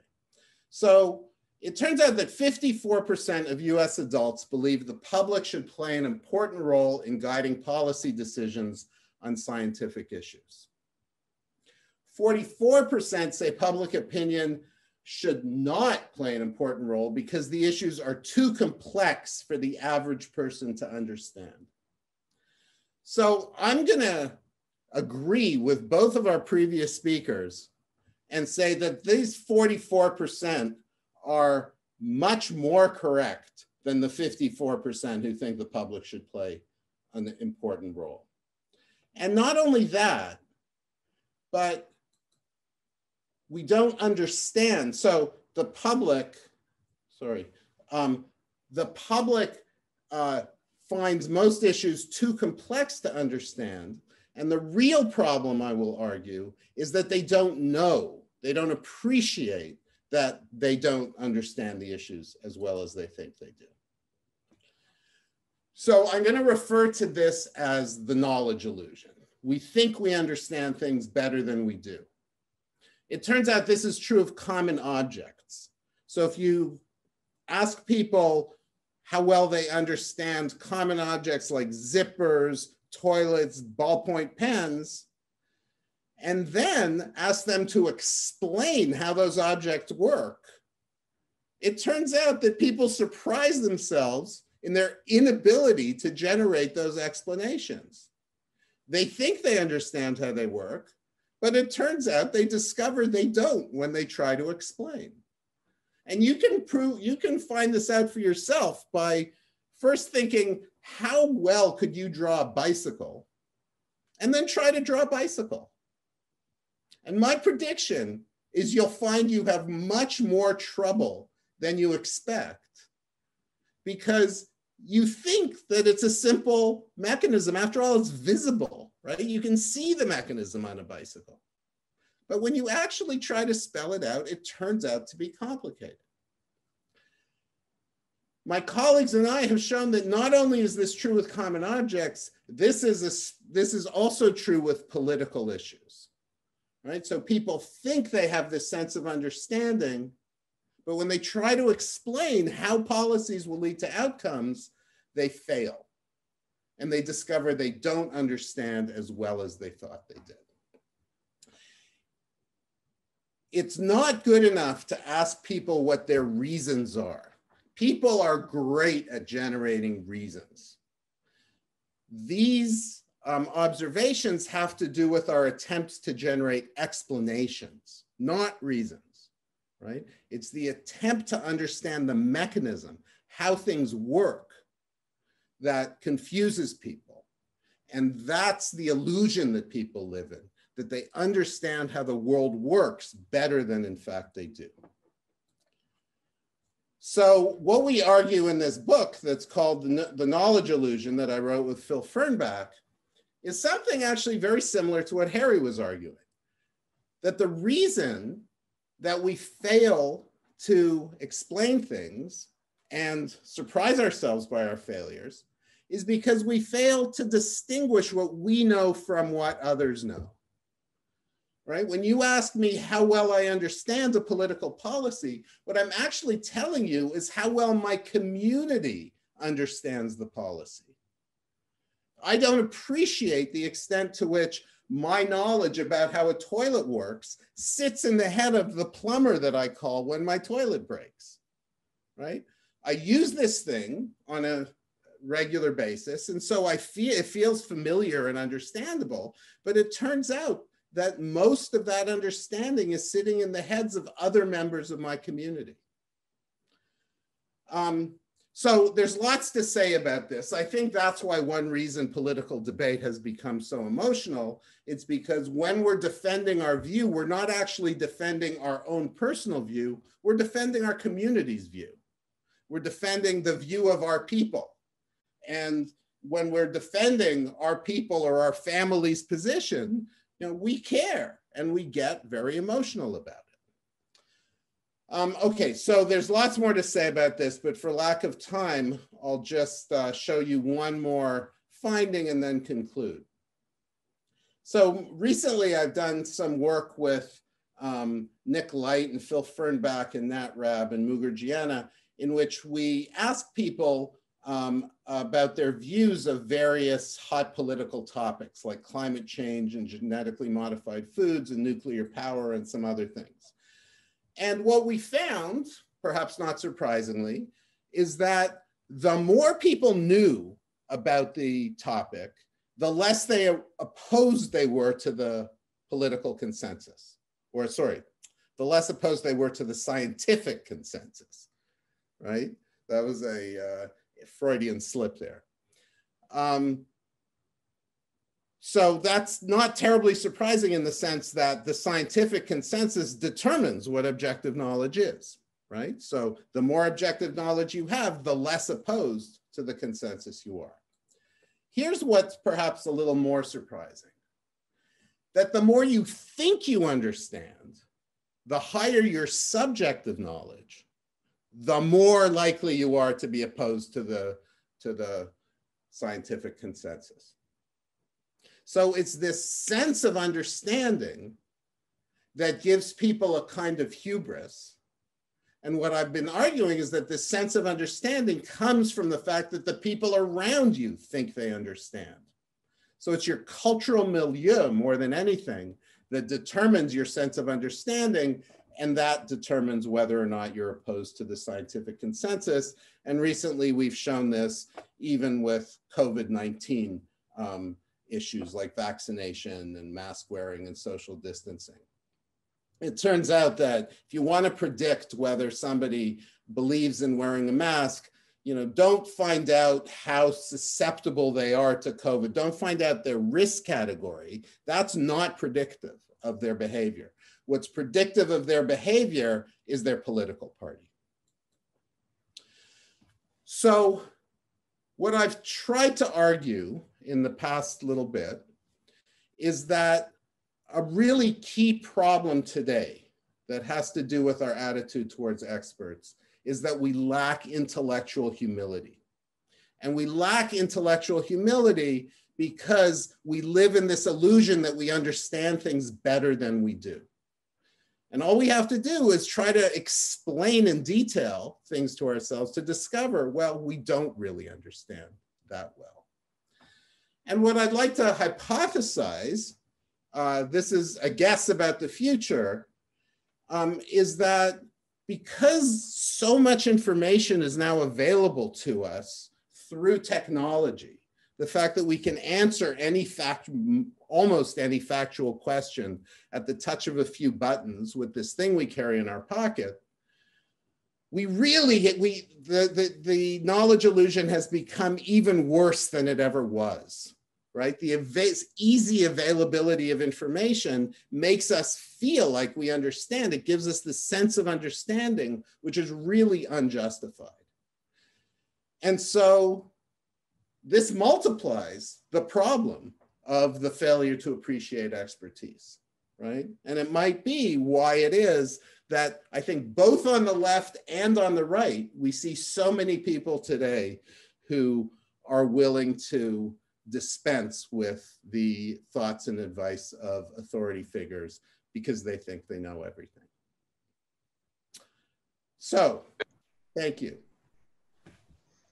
Thanks very much. That's Steven Sloman from Brown University. I just wanted to pick up on uh, something you were saying uh, towards the end there, the idea that you're not really representing your own point of view. You're sort of you're representing the team or the tribe or the, the collective group of people that come from where you're coming from. And, and it, it does seem lately that people wake up in the morning and just put on a suit of opinions that covers everything. I mean, I even have to to to question your premise that we will listen to someone when they tell us it's raining outside now. I mean, didn't you recently have a president that had a very shiny inauguration day on a day when it was clearly if you were watching TV raining? I mean, it's it's it's gotten that bad that even basic premises are questioned. But but the idea that that we we, we make moral judgments, we, we apply moral judgments to experts. And, and one of the reasons why they're, they're struggling with being accepted right now is because sometimes experts are wrong. An idea you were talking about earlier. I mean, the people who are anti expert are also wrong all the time. Why don't we apply those same moral judgments to the ones who are turning us away from expertise when they are wrong so often?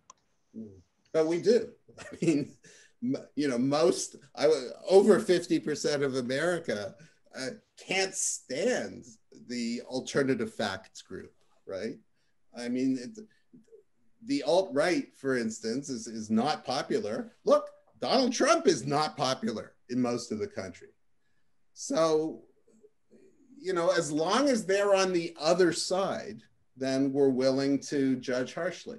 It's when they're on our side that we tend we tend not to judge at all is what we do right we just accept what people say um, without really evaluating so that's what it comes down to basically on every question now what side are you on from soup to well, nuts yeah so I, I don't think it's on every question um, as I suggested, when you, we use our microwave ovens, we just sort of accept expertise, right? And I, I don't think there are big partisan differences on um, most everyday topics. You know, what's happened is that particular issues have become politicized. And what politicization means is that we've decided we're going to take our partisan view on the topic rather than thinking it through ourselves or rather than considering um, the view of the other side. Uh, you know, I, I, there are there are lots of communities we can belong to, right? So each of us might have, um, you know, our a, a, bridge community, a community that we recreate with, and a community that and a religious community and an academic community and a community that we go car racing or jogging with. We all have multiple identities. And the, often the question that we have to pose is what community are we seeing ourselves in at the moment for a particular question? So, you know, we've always depended on our communities of knowledge. I mean, we, we, we couldn't hunt and gather, you know, tens of thousands of years ago if we didn't have a community to inform us and to do it with. Um, what may be different today is our willingness to take certain hot button issues and appeal to our partisan community as opposed to our other communities. Right. Well, I am at the point in the morning where I told Noreen I would hand things back to her. I, I can't believe it's actually exactly the time I told Noreen I would hand things back to her. I just wanted to say one, one other thing just before I do that um, for the breakout groups. I don't know if anyone else noticed, but I noticed that when uh, Steven Sloman brought in the topic of critical theory, Harry Collins was really nodding on, on his monitor. So there, there could be something worth exploring there when we have all three of our experts together in the afternoon, if any of the breakout groups are interested in coming up with a question on that. But as I say, time to turn it back over to Noreen. I'm back. There we are. Um, thank you so much, everyone. Um, to our panelists for their very thought-provoking talks and um, Jim, for your moderation and indeed for the brilliant timekeeping. Uh, I'm sure the discussions are going to be very vibrant. Um, so let me explain how we'll proceed from here. Uh, we will have a break now until 11.15, so you can stretch, get much needed coffees, etc. Um, and at 11.15, um, at the moment, Sean is very busy putting you all into uh, one of 15 breakout groups. So you will all be assigned to a group. and these will open up and start at 11.15. Um, each group has a moderator who will identify themselves to you and will help to guide the discussion, starting from a question that they have been given already, which has been provided, was provided in advance by uh, the panelists. So um, you will have 30 minutes to discuss this question in light of uh, the talks that we've just heard and, and anything you can bring into the discussion. Sean will give a five minute warning um, before uh, the, the session closes. The idea is that you come up with some questions or comments to return back to the panelists for them to then engage with in the Q&A which will follow.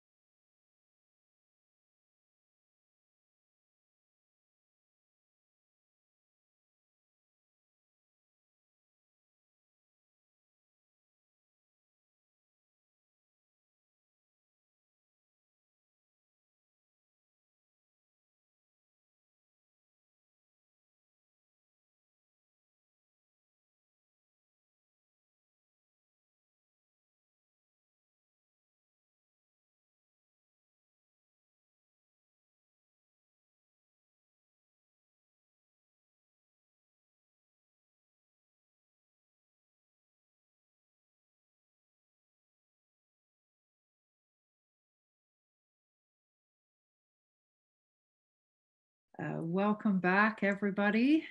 I hope you had some uh, wonderful discussions and um, very much looking forward to our Q and A now. So I'll um, I'll hand it over to Jim again.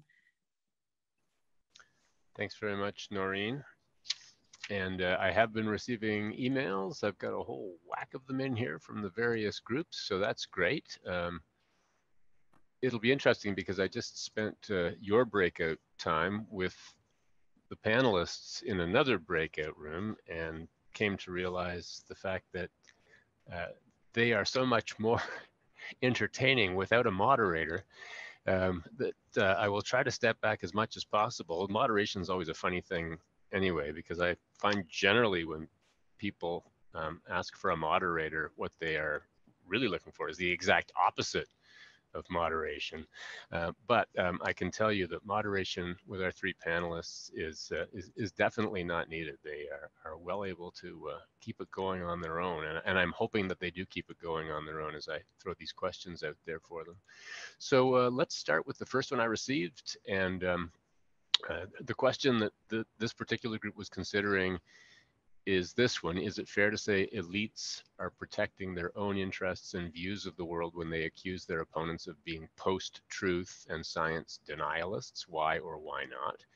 And uh, here's uh, what the group would like you to consider. Uh, they, they have come to the conclusion that we don't think that the elites are protecting their interests, but we'd like to find out how to deal with that issue properly. How are we going to be able to educate people as educators and help them use information properly and whether this will have any positive effect for our students in being able to distinguish what is good for them. So just, I guess that basic question of, of how to deal with this issue as an educator. Um, uh, perhaps Maya, you can kick us off on this one.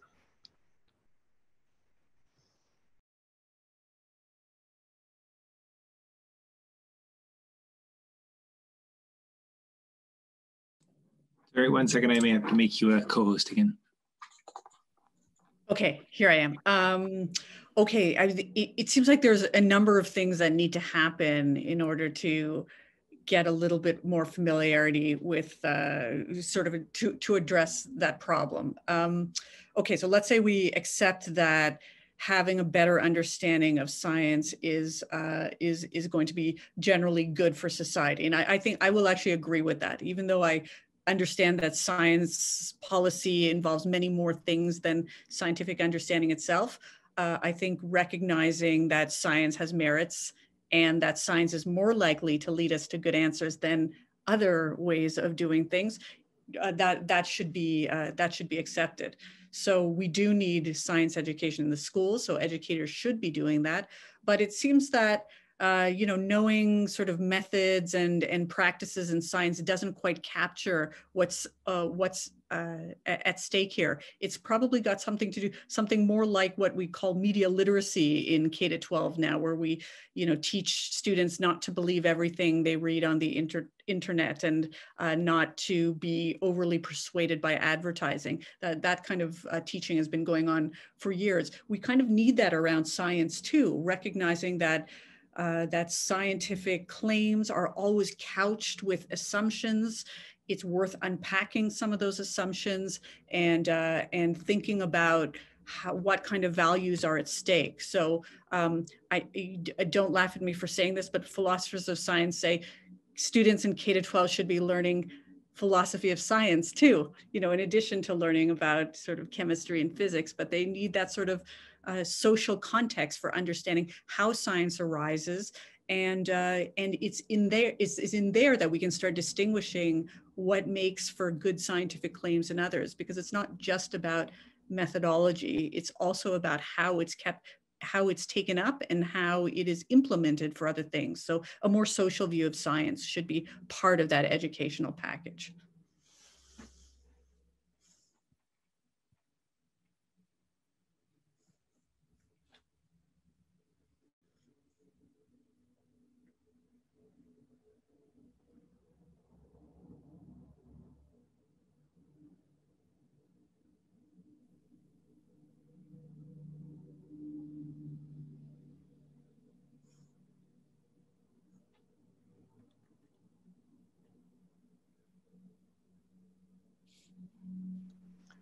Okay, now I have regained the ability to unmute myself, which was temporarily beyond my capacity. Uh, Steven, assuming that your mic is live, would you like to uh, jump in on that? Okay. Yeah, thank you. Um, uh, you can hear me, right? Yeah. Um, yeah, so I guess I want to end up at exactly the same place that Maya did, although I, I want to get there a little differently. Um, I think it's really important to distinguish individuals from institutions. So scientists are people and scientists suffer all of the same biases and other problems that everybody else does. Um, you know, we want our theories to be correct. It's hard for us to analyze data in a completely neutral way. Um, we have our dogmas. You know, they say that scientific theory doesn't change until old scientists die. And I and I and I, I think there's a lot to that, right? That we want to be right.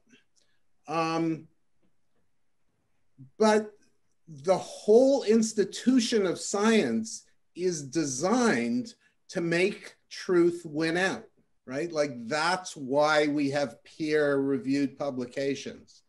That's why we have seminars in which the norm is to challenge one another. Um, and it's not just scientists. I mean, there's lots of organizations that are designed this way. So my experience with philosophers is that they're more than happy to challenge one another. Courts of law are designed, at least in the West, are designed to allow people to challenge one another. And it's through that process that I think truth wins out. So, you know, there's, as, as we were discussing in the breakout room, there's tons of uncertainty, there's tons of ambiguity scientific theories are just theories. And all you can do is construct arguments for and against them and pick the one that explains the data best. But you know, I, I do think as a field where we've managed to find ways to get beyond um, less than laudable human intentions. And Harry.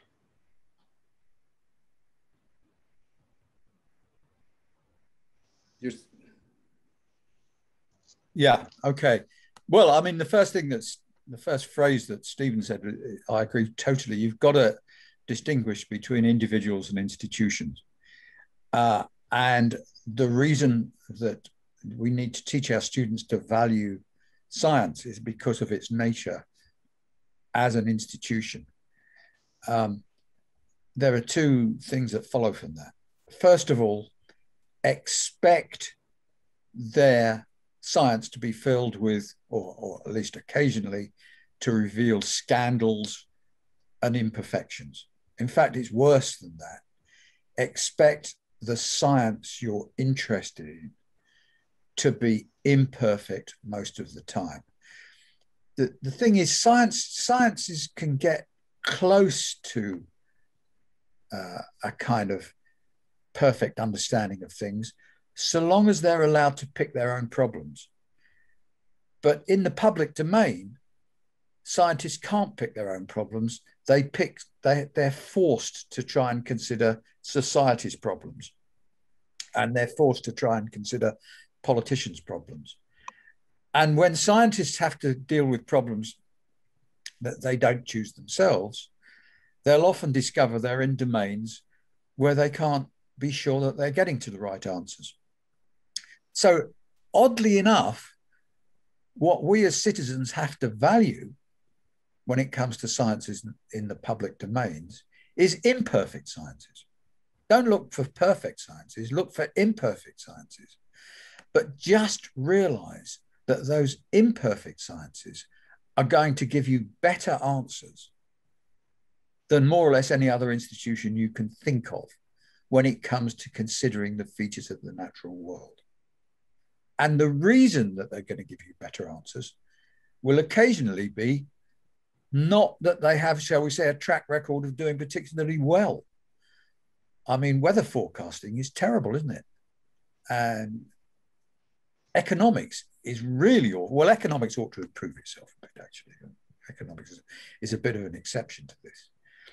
But the reason is that fundamentally science is an institution, which I think Steve also said, which is after the truth of the matter. And it's hard to find institutions like that. Most institutions that we encounter in the modern world are after money, riches, fame, something like that. But at the heart of the matter, at the heart of it, science scientists are after the truth of the matter, and that means they have to have some respect for integrity, and that's why we should value science in our societies. But this sets up a, another set of problems because if, if you if you are in going after that sense of integrity, then you are acknowledging the uncertainty of most of what you're proposing and, and the changeableness of most of what you're proposing. Steven, you you talked before in our breakup group about the difference between the uncertainty we're hearing from some scientists and the absolute certainty we're hearing from those who would dispute what those scientists are saying. And absolute certainty can be a very tempting thing for a crowd to hear. Yeah. Yeah. Um, the other thing I said in the breakout room is that I actually think a really important role for experts is to make us less certain about things, is, is just to make absolutely clear how little we know about so many things. I think Harry's had a lot of experience with physics, but physics is actually very different than most scientists in that there's much more precision and much more certainty, at least in most areas of physics, than in, say, the social science or the life sciences that, that I've been involved in. Um, and, and so it's really important for experts to help the rest of society understand that for the most part we're we're walking in the dark and that's just the fact of it. And so you know one thing i mentioned in my talk was how it doesn't bother me that the who and the cdc have been changing their advice because it's a reflection of the fact that they're learning. And we're all learning. We've all learned a ton about aerosols and viruses and how they spread. Um, and you know science good science is constantly changing and appreciating imprecision and uncertainty and ambiguity and all of the, that fuzziness that makes it hard to figure things out. So Maya, I know you study vaccine hesitancy. How do you feel when you hear that very uncertainty, that whole process of learning that Steven was just talking about, coming from groups like the WHO or, or here in Canada from NACI. How do you feel when, when you hear those contradictory messages used as justification for vaccine hesitancy? Um, it, it's bound to happen. I mean, there's a whole area of science communications research that shows we need um, on the one hand, it's really helpful to have clear and consistent messaging to the publics, but science doesn't always operate that way. So you need to always couch uh, the claims with, uh, you know, justification, for example, why we're changing our minds about things. Uh, the the NACI one is is is particularly troubling only because we're getting different. Sorry, the the one about the Oxford AstraZeneca and uh, vaccines in Canada is because we're getting different messaging from politicians and then from our immunization uh, body, who, to their credit, I think they've actually been consistent the whole time. They have always said the mRNA vaccines are preferable. Whether they're right to say that is a different thing, but they but they uh, are consistent. Um, I, I, wanted to add one more thing about the sort of messaging that both Steve and Harry are providing about what what they'd like the publics to know about science is it might be helpful to make the distinction between um, settled science and emergent science. So when we learn a little bit of history of science when we're you know even in high school, it's always about the scientific facts that have been established, and there's a less attention to how much work went into um, getting those facts to be established and taken as matters of truth. It, it, it is not the case that that one experiment suddenly changed everyone's minds about, let's say, washing our hands before you before you deliver a baby or or uh, or uh, the rotation uh, of the Earth around the sun. Instead, it's been there's been uh, emergent information, there's dialogue, there's inconsistencies, um, and it often takes decades for even a small fact to be settled, or by settled, I just mean widely accepted by the scientific community. So when we find ourselves with emergent scientific issues like a new vaccine, data about a new vaccine, or about you know how to control this new this new uh, virus, uh, we should absolutely expect that because this isn't the picture of science as it's fact and then everyone should follow. Instead, the, the, the emphasis on the uncertainty and the knowledge that we're building is the right message.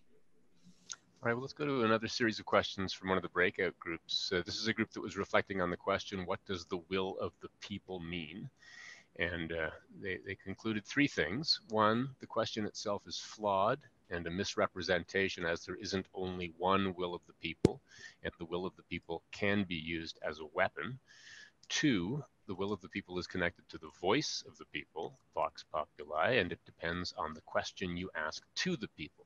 Is the will of the people simply their desire? Following David Hume, is reason a slave to passion? And the third point they'd like to uh, have our panel consider is uh, a discussion of how the will of the people can be steered towards a return from living in a post-truth world, and if the panelists could give us some practical ideas on how we can return to a more robust respect for evidence-based knowledge society, which I guess is the nub, the, the main point that we're dealing with, the reason we're all here today. And if, if I could encourage you all to, to, to talk amongst yourselves, to pose questions to each other. I know you're all very curious about what the other thinks. And Harry, I'll, I'll, I'll kick off this big question with you. Thanks. Um, yeah, well, I certainly feel uh, it's a problem that I have to think very hard about. And uh, in recent work, uh, we came to a, an, an, a, a con- not a conclusion.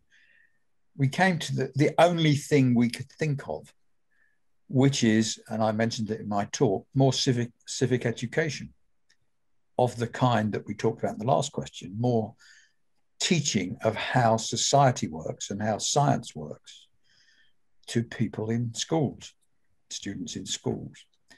Now, it's not much of a solution. Um, I wish we could think of something that looked more like turning a switch. And the chance of getting it into a, a, as part of the policy of a political regime, especially if it's a malign political regime, seems seems almost zero. But I think that's the kind of thing we have to do fast.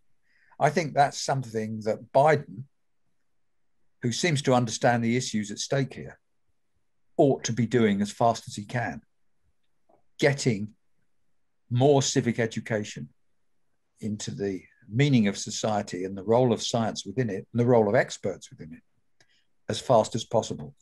Because I think we are at a dangerous point in history.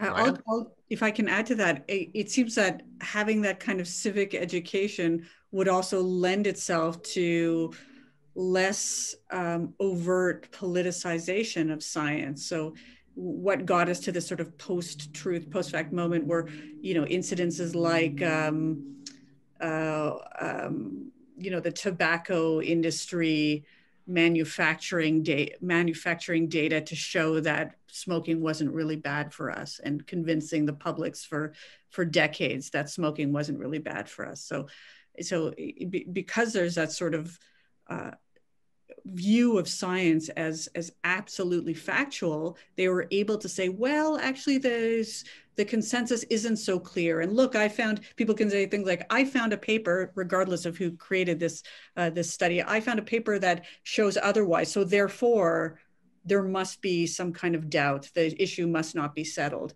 as if 100% certainty is the the usual standard for science and anything less than that means that we don't know anything. And, and of course that can't be true. It's never been true about science. So the civic education that that harry's alluding to is also recognizing uh, is, is part of that is, is recognizing that there will always be uncertainty.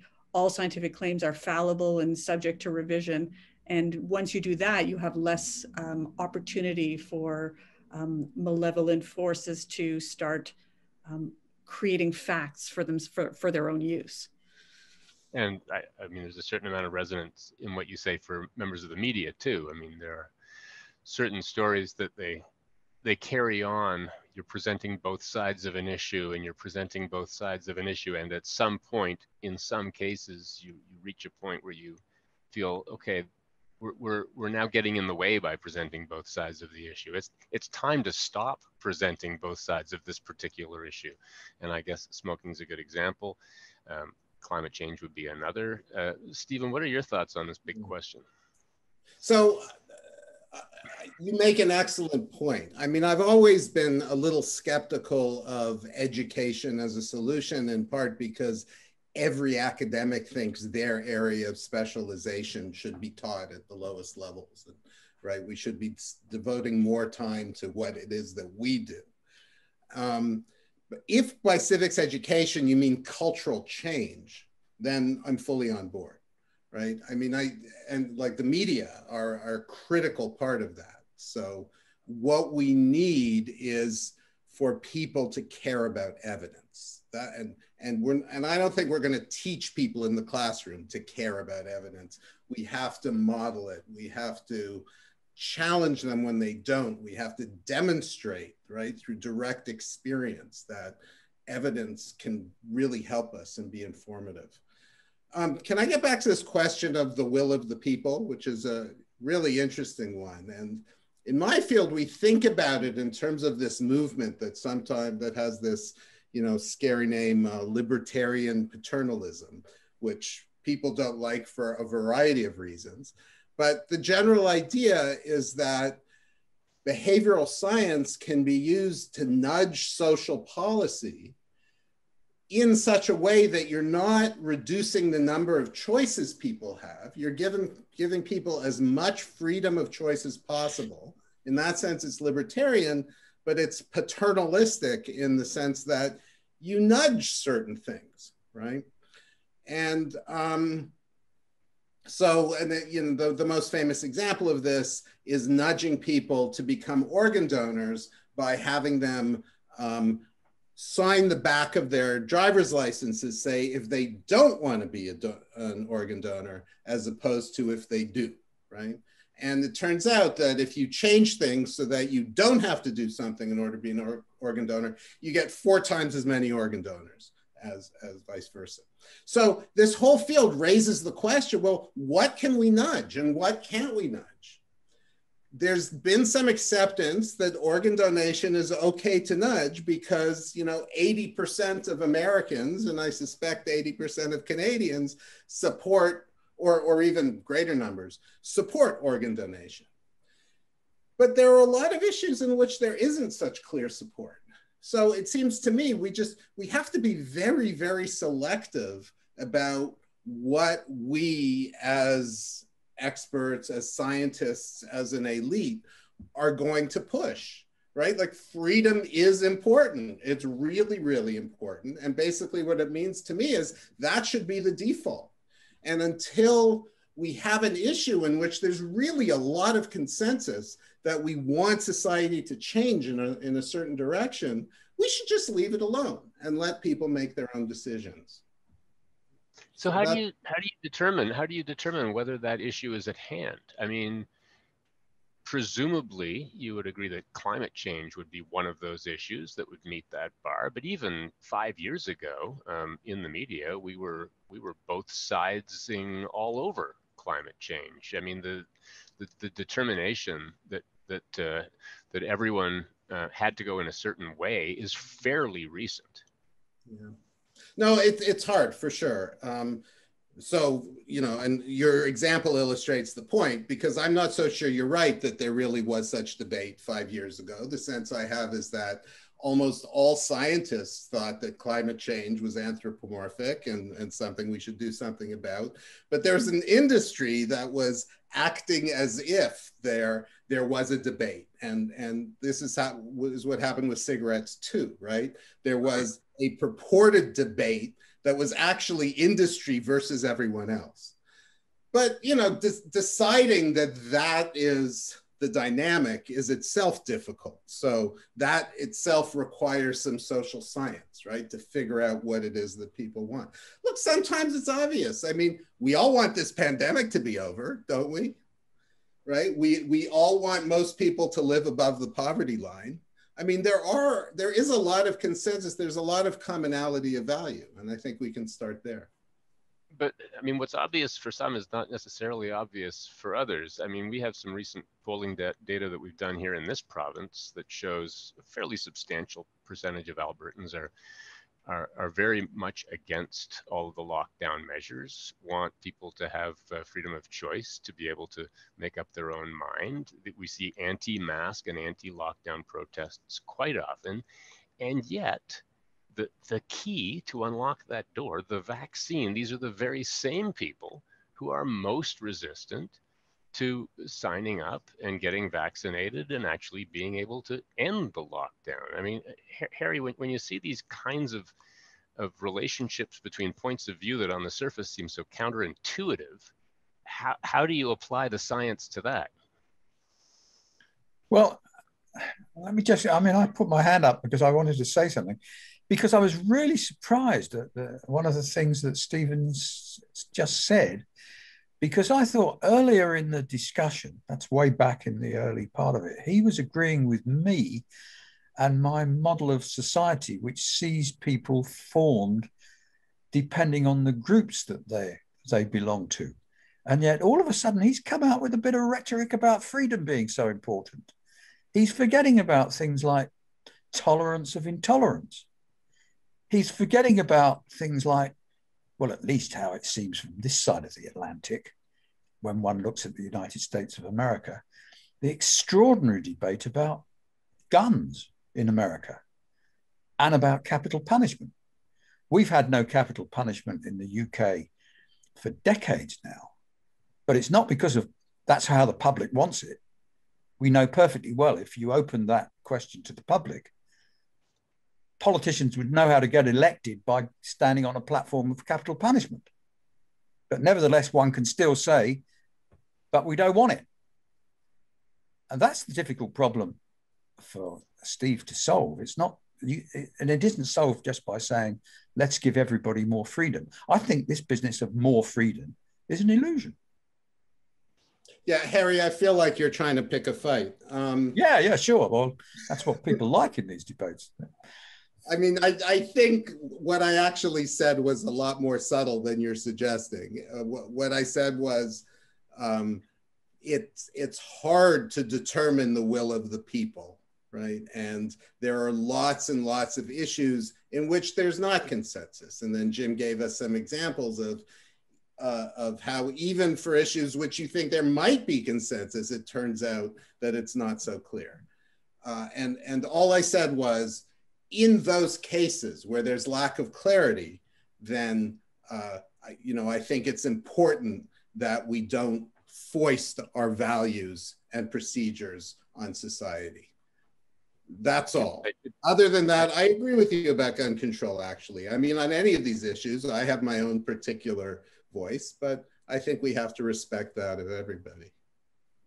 I, I, should just let you know that if, if you're putting your hand up and I, I'm not calling to you, it's because I don't have all of you on my, my screen. I oh. generally have uh, whoever's speaking and then a few other random participants. Um, Maya, I wanted to, to, to just before we leave this section, talk about two words that have come up quite a bit. Um, uncertainty on the one hand and evidence on the other. We've heard about how crucial both of those things are to the pursuit of science and the acceptance of that science. But how, how do you, in a sense, make those two words that, that seem to be such opposites come together? Um, the connection there is, at least around scientific evidence, is that there's a consistent fallibility in science and the and revisability the idea that science this is supposed to be a strength of science that it is revisable in light of new evidence. So we don't even though we use the language of facts the facts su suggest that it is something is static and unchangeable and at least in theory every scientific claim is revisable. Some will probably never be revised just because so much has been they work so well and so much is built up on it, but we don't talk about 100% certainty in, uh, in science. And that may not be too important when we talk about you know uh, fundamentals around in in uh, let's say uh, around you know theory of gravity but it does matter when we get to the you know the, the higher order the uh, the the more unsettled and the newer and and, and emergent uh, science The reason the reason I just wanted to sort of underline that is because it does seem to be so important to a lot of the questions yeah. that are are feeding this conversation today, particularly those related to COVID-19. That the kind of ever-changing nature and and the not knowing what to believe, and then the reversals, and then the head exploding. Mm-hmm. So, yes. so I, I, just wanted to spend a little bit of time on that before I move to our, our next question from our other breakout groups. Um, this one, um, it, it, it, starts off like this. Over the last year, it has, it has often looked like it's the general public refusing to accept the advice of experts and more like our elected representatives refusing to accept that advice. Does the knowledge illusion work the same way for elected representatives, or do we need to acknowledge other forces, political, economic, at work when they dismiss expert advice? I think that's a a really pertinent question uh, here, at least in this part of the world right now. Uh, and Maya, you're you're up on the screen. Why don't you why don't you take the first crack at this one? I'm sorry. Can you repeat the question? I, I don't think I, I caught the whole thing. Sure. I'll, I'll paraphrase. It, uh, this group says that lately it, it, looks like it looks less like it's the general public refusing to accept right. the advice of experts, and more like it's our elected representatives who are refusing to accept the advice of experts, and, and they're wondering about the, political considerations that roll into all of this. Yeah, there, there is certainly three parts to this. There's the political leadership, there's the scientific advice coming from our various scientific tables and our uh, and our um, public health officers, and and then there are the publics too. So, um, uh, keep, keeping with uh, Steve's work about how knowledge claims become sort of I think his word was tribalized, where we where we uh, certain groups start to accept certain things because a, because uh, those views become part of their political views and their ideological uh, and their ideological worldviews. It becomes the case that sometimes disagreeing with the leadership is part of the work that you do, and certainly um, uh, we we are getting a kind of um, in Canada we're seeing the sort of um, conservative governments that are not listening to their advisory groups. That's happening in Alberta. That's certainly happening in Ontario, where I live. And we've got the publics that are, if they are, you know, unhappy with government, they might say, well, these are the the scientists are the people that we should be listening to. Um, I don't think they're asking for a technocracy, but they are asking for uh, more evidence informed policy. So, so we're seeing all those things. We're seeing members of the public that don't want to follow the scientific recourse, and also members of the public that don't like the political uh, recourse either. And of course, we would like it if the politicians and the scientists were a little bit more unified. I mean, that's why we have these scientific advisors in the first place, because they're actually supposed to be helpful. And when they're ignored by politicians, well, we wonder why, you know, why did we do all this work anyway? Now, Harry, I'm not not uh, not totally clear about the situation in the UK. I know in, in Steven's country, they just lost an administration that seemed to make a, proud, boastful point of disagreeing with scientists. And now that that administration is no longer in power, it, it's fallen to the right wing news media to, to bash scientists in the US. What's the situation like in the UK? Is there, is there that same kind of relationship between, uh, between governing bodies, political parties, and science, that same kind of distrust or misrepresentation? No. Um, the, um, I mean, everybody applauds the vaccine rollout in the UK. And uh, pretty well everybody in the sorry, there's a certain amount of vaccine hesitancy in the UK, but it's a it's a small number of people, and uh, people in the UK kind of snigger at the French who've got about 40% vaccine hesitancy or something like that, uh, and are suffering from it as well. Um, and uh, Johnson, uh, the prime minister, um, who is a, in my view, a really wretched person, uh, nevertheless has proclaimed that he's been him and his government have been following the science, and they've been claiming that from the outset of the uh, pandemic, it wasn't true at the beginning. I mean, he delayed lockdowns for far too long, with the result that the UK had uh, a greater proportions of deaths from COVID than any other European country for a long time. I don't know what's happening now that our vaccine rollout has been so successful. So uh, we're in the UK, we're in, in the UK in particular, I don't think we're too worried about anti-science, um, but we're worried about it in other important nations such as the US, uh, because our future, I mean, no there two ways about it. Our future is tied to the future of the US. Mm. It's curious, Steven, how the, the, the suit of clothing that people put on in North America that, you know, sort of starts with your right wing beliefs and your your climate change denialism and all of the the other little pieces of the outfit that you put on in North America it also includes a pretty strong aversion to masks and uh, and anti-COVID measures. In the UK, it doesn't appear to, and it, it, that's interesting to me. Mm. So I I think um, the two countries probably differ in terms of the dynamics of their discourse. In the in the U.S., um, you know what scares me the most um, is that the extremists have completely taken over the discourse right? And and when I say the extremists, I mean on both the right and the left. So most of the debate you see is between I, what I judge to be a fairly small percentage of the population at either end. And I think most people are actually sort of moderate and in the middle, but they've been cut out of the conversation.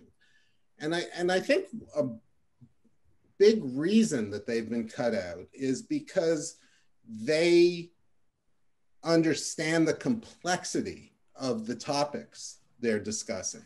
Whereas extremists control the conversation because they're able to simplify, right? Simplification is the key to controlling the conversation. And so politicians do it in large part by not talking about details, not talking about the way to roll things out and the policy implications. Rather, they talk about sacred values. They talk about the things that are most important to them, that they care about the most. And thus, they get to sort of abstract from all those messy details. And that's really what fosters this illusion, right? And that's also what allows them to connect to large swaths of the population because they also accept those values, even if some of them appreciate that life is more complex than those values capture. So Maya, let me take that that last scenario sketched out by Steven with extremists on both sides, the right and the left, controlling the conversation. And let me plug in one other question from this great uh, breakout group. How does an expert interface with the public domain without being attacked?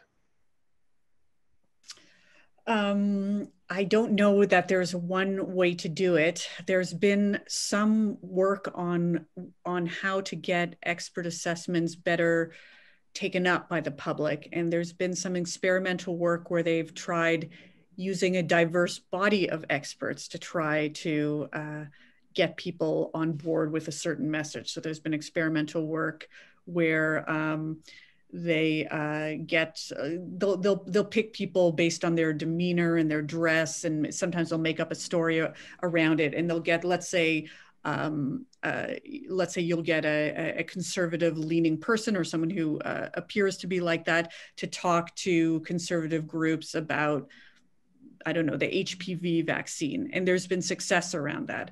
And the reason for that is it, it, there's sort of psychology and, and work on, on what pe- makes people trust an expert. The, the finding is, is that it's not that people are necessarily against expertise or against the idea that people have knowledge that they don't. So i actually i don't i don't agree with that claim that people think no one that that everyone thinks they know as much as everyone else. There's you know there's some evidence that we overestimate for sure but the problem is when they think the experts don't hold the same values that they do.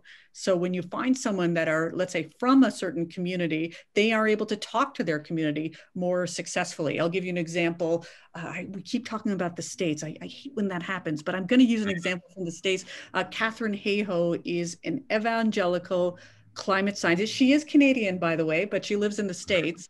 And she's been very successful talking to evangelicals like herself who are generally ideologically committed to not believing climate change is true but because it's coming from her because it's coming from someone that shares their values they are more open to that discussion and we're, we're yeah. seeing this around vaccines too there's a lot of work happening in canada and elsewhere around um, uh, reaching out to vaccine more to vaccine resistant communities speaking to people from their community about it. So we call them vaccine ambassadors now. So to let's say go into uh, uh, immigrant or racialized communities that are more resistant to vaccines. You get people from the community to speak to them because they're not necessarily going to hear the message in the same way when it comes from sort of orthodox experts that they don't think know them and don't uh, and they don't trust them to actually share the things that are are uh, important to them.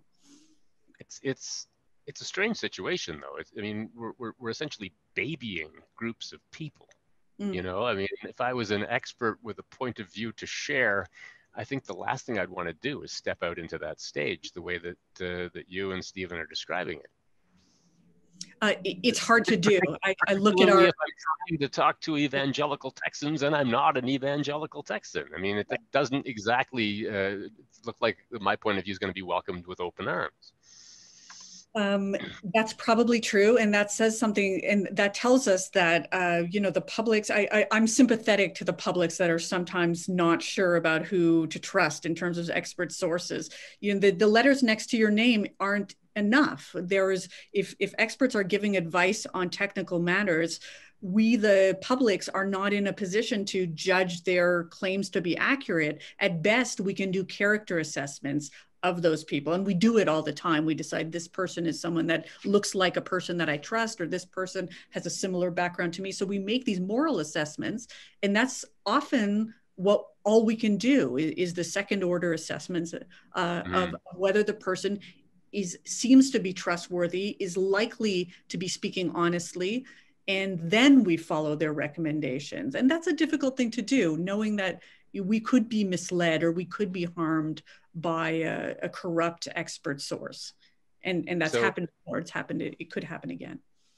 So Harry, when you talked earlier about how you were less than completely satisfied with the solution that, that you and, and your colleagues came up with, the idea of civil education, this seems like a particular aspect of this area where civil education, if it is going to do anything, is going to take a very, very long time. Yeah. Um, but I wish I could think of something else. You know, one one wants something where you can turn a switch. Uh, but uh, Some kind of pill, a pill or something. A kind of pill, or or you you know maybe if I had billions of dollars and uh, owned a a broadcasting company, that might do it. But I'm afraid all the wrong people seem to own those things. But if you had billions of dollars, you probably wouldn't care as much as you do now, Harry. Mm, don't know. So, so you've you've stepped out on the stage with opinions that have been you've had had those opinions pushed back on. Uh, how how do you feel about the, the the, the just that sort of just the sort of reality that experts find themselves in today, where if they're going to say anything um, that isn't exactly what the audience expects, then basically they're they're they're probably ruining their at least their social media lives for for months if not years. Their social media if that's addressed to me i don't use it. I don't i don't use it either so. Uh, but um, but it's a tough call to make right now to to take let, to take um, an opposing point of view. Let me put it this way as an academic what i've discovered is that i despise other academics whose motivations are to gain are primarily to gain audience appreciation. You know uh, the one comforting thing one of the comforting things in, in that i find in life is as soon as I, i'm having an argument with somebody in an academic forum it wouldn't be a, probably not on zoom but in in some hall somewhere and the things they say are designed to get the audience on their side, I immediately know that they're doing the wrong thing, and therefore, by default, I'm doing the right thing. here's something else to consider. And Steven, let me start with you on this one because uh, this this is quite interesting. Um, this came out from one of the other groups, and I've been getting so many questions here that I'm, I'm starting to cherry pick because I can see we're almost running out of time. But this is a good one. Uh, should we better regulate the media to curb or even ban those outlets that are clearly peddling untruths? Steven. Yeah. Well, look, I'm I'm not a lawyer, and so I'm not in a position to decide the best way to handle the media. My my suspicion is the best way is to be able to sue them if they lie, right? I mean, probably libel and slander laws could be more effective than anything else, and a little bit of that is actually going on. But um, the Dominion Voting Machines uh, company. Right the Dominion voting machines company seems to have had some uh, some yes, effect doing that exactly. lately. Yeah. Exactly, yeah. and you know you do get the sense that Fox News is being more careful now than than it was previously because it'll cost them money, and you know unfortunately a lot of the pushing of um, bad information, mis and disinformation is about making money.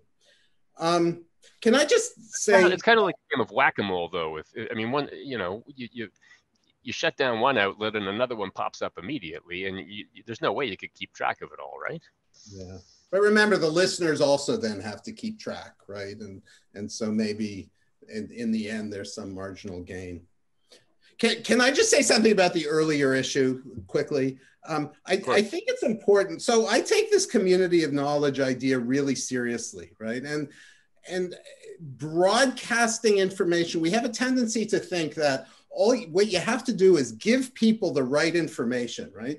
Give them the right education. Education generally is focused on individuals. I think you're right, uh, Jim. That it's a sad fact that that people don't sit and listen to scientists um, and take everything they say as as God's truth. Um, and maybe for good reason, right? It's in large because scientists don't always know what they're talking about, and sometimes they're wrong, and and we should have different sources of information. So the fact that you do need someone like you who's uh, who's talking to you in order to be convincing may be sad in a way, but that's the way the world is. We are, I think, tribal. And it's not necessarily bad, right? So, what it means is that when you want to persuade, when you want to reach out to people, don't think that you can just give them the facts on a platter. Rather, appreciate that you have to speak to, to a, a community, to an ideology, to a way of thinking. And people do respond to evidence right? If people believe something that implies X and you show them very clearly that X is not true, people feel the need to explain that. And, and that's sort of the saving grace, right? It's we do respond to evidence, and that's the key, I think. I, want to wrap this up because uh, we are quickly running out of time by um, actually going back to a question that Harry asked the other two panelists in our little non-breakout breakout room and, and harry i'm paraphrasing you but you said something like I, I was the only one of the three that really talked about how scared i was aren't you too scared maya are you scared um, I, am I scared? Um, I don't see our situation as a good one. I would, uh, I think everyone would uh, agree on that. Um, uh, I I wonder what it's going to take to get people more unified, such that we could actually have um, agreement on things. So I so I, I've already said I don't think expertise is dead. I don't think it's a matter of believing science, but I do think we've got so much social division that even our science has become politicized. This is my science, that's your science. And when I think about the kind of uh, social and civic work that needs to be done to create more unity, I'm I'm uh, um, I feel a little overwhelmed because I don't know that we have the resources and uh, desire to do it. We seem to splinter even in time during a pandemic, which was the time to bring to come together. If ever, uh, we we are splintering more, and that that uh, um, uh, that causes me a lot of distress. So it's a hard maybe. Steven, are you scared? Um, I was scared on election day in the U.S. Uh, I I'm actually feeling much better now. I you know things are are going are much more to my liking now. Um, and I don't know. I, I'm not really scared because I don't know what the future holds. You know, I mean, it's really hard to make predictions, especially about the future, as they say.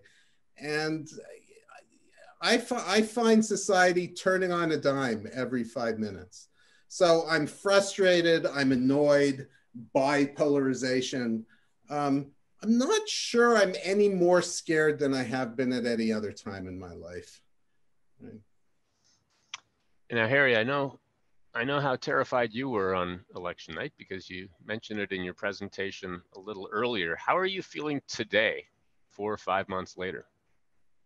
Not much less scared, uh, because uh, in spite of uh, uh some of the opinion poll figures that Steven produced, as far as I understand, there's still a huge proportion of the US population, and apparently the Calgary population um, who hold the kind of views that I think are a pathway to a collapse of pluralist democratic societies, an invitation to populism and therefore collapse of pluralist de- democratic societies.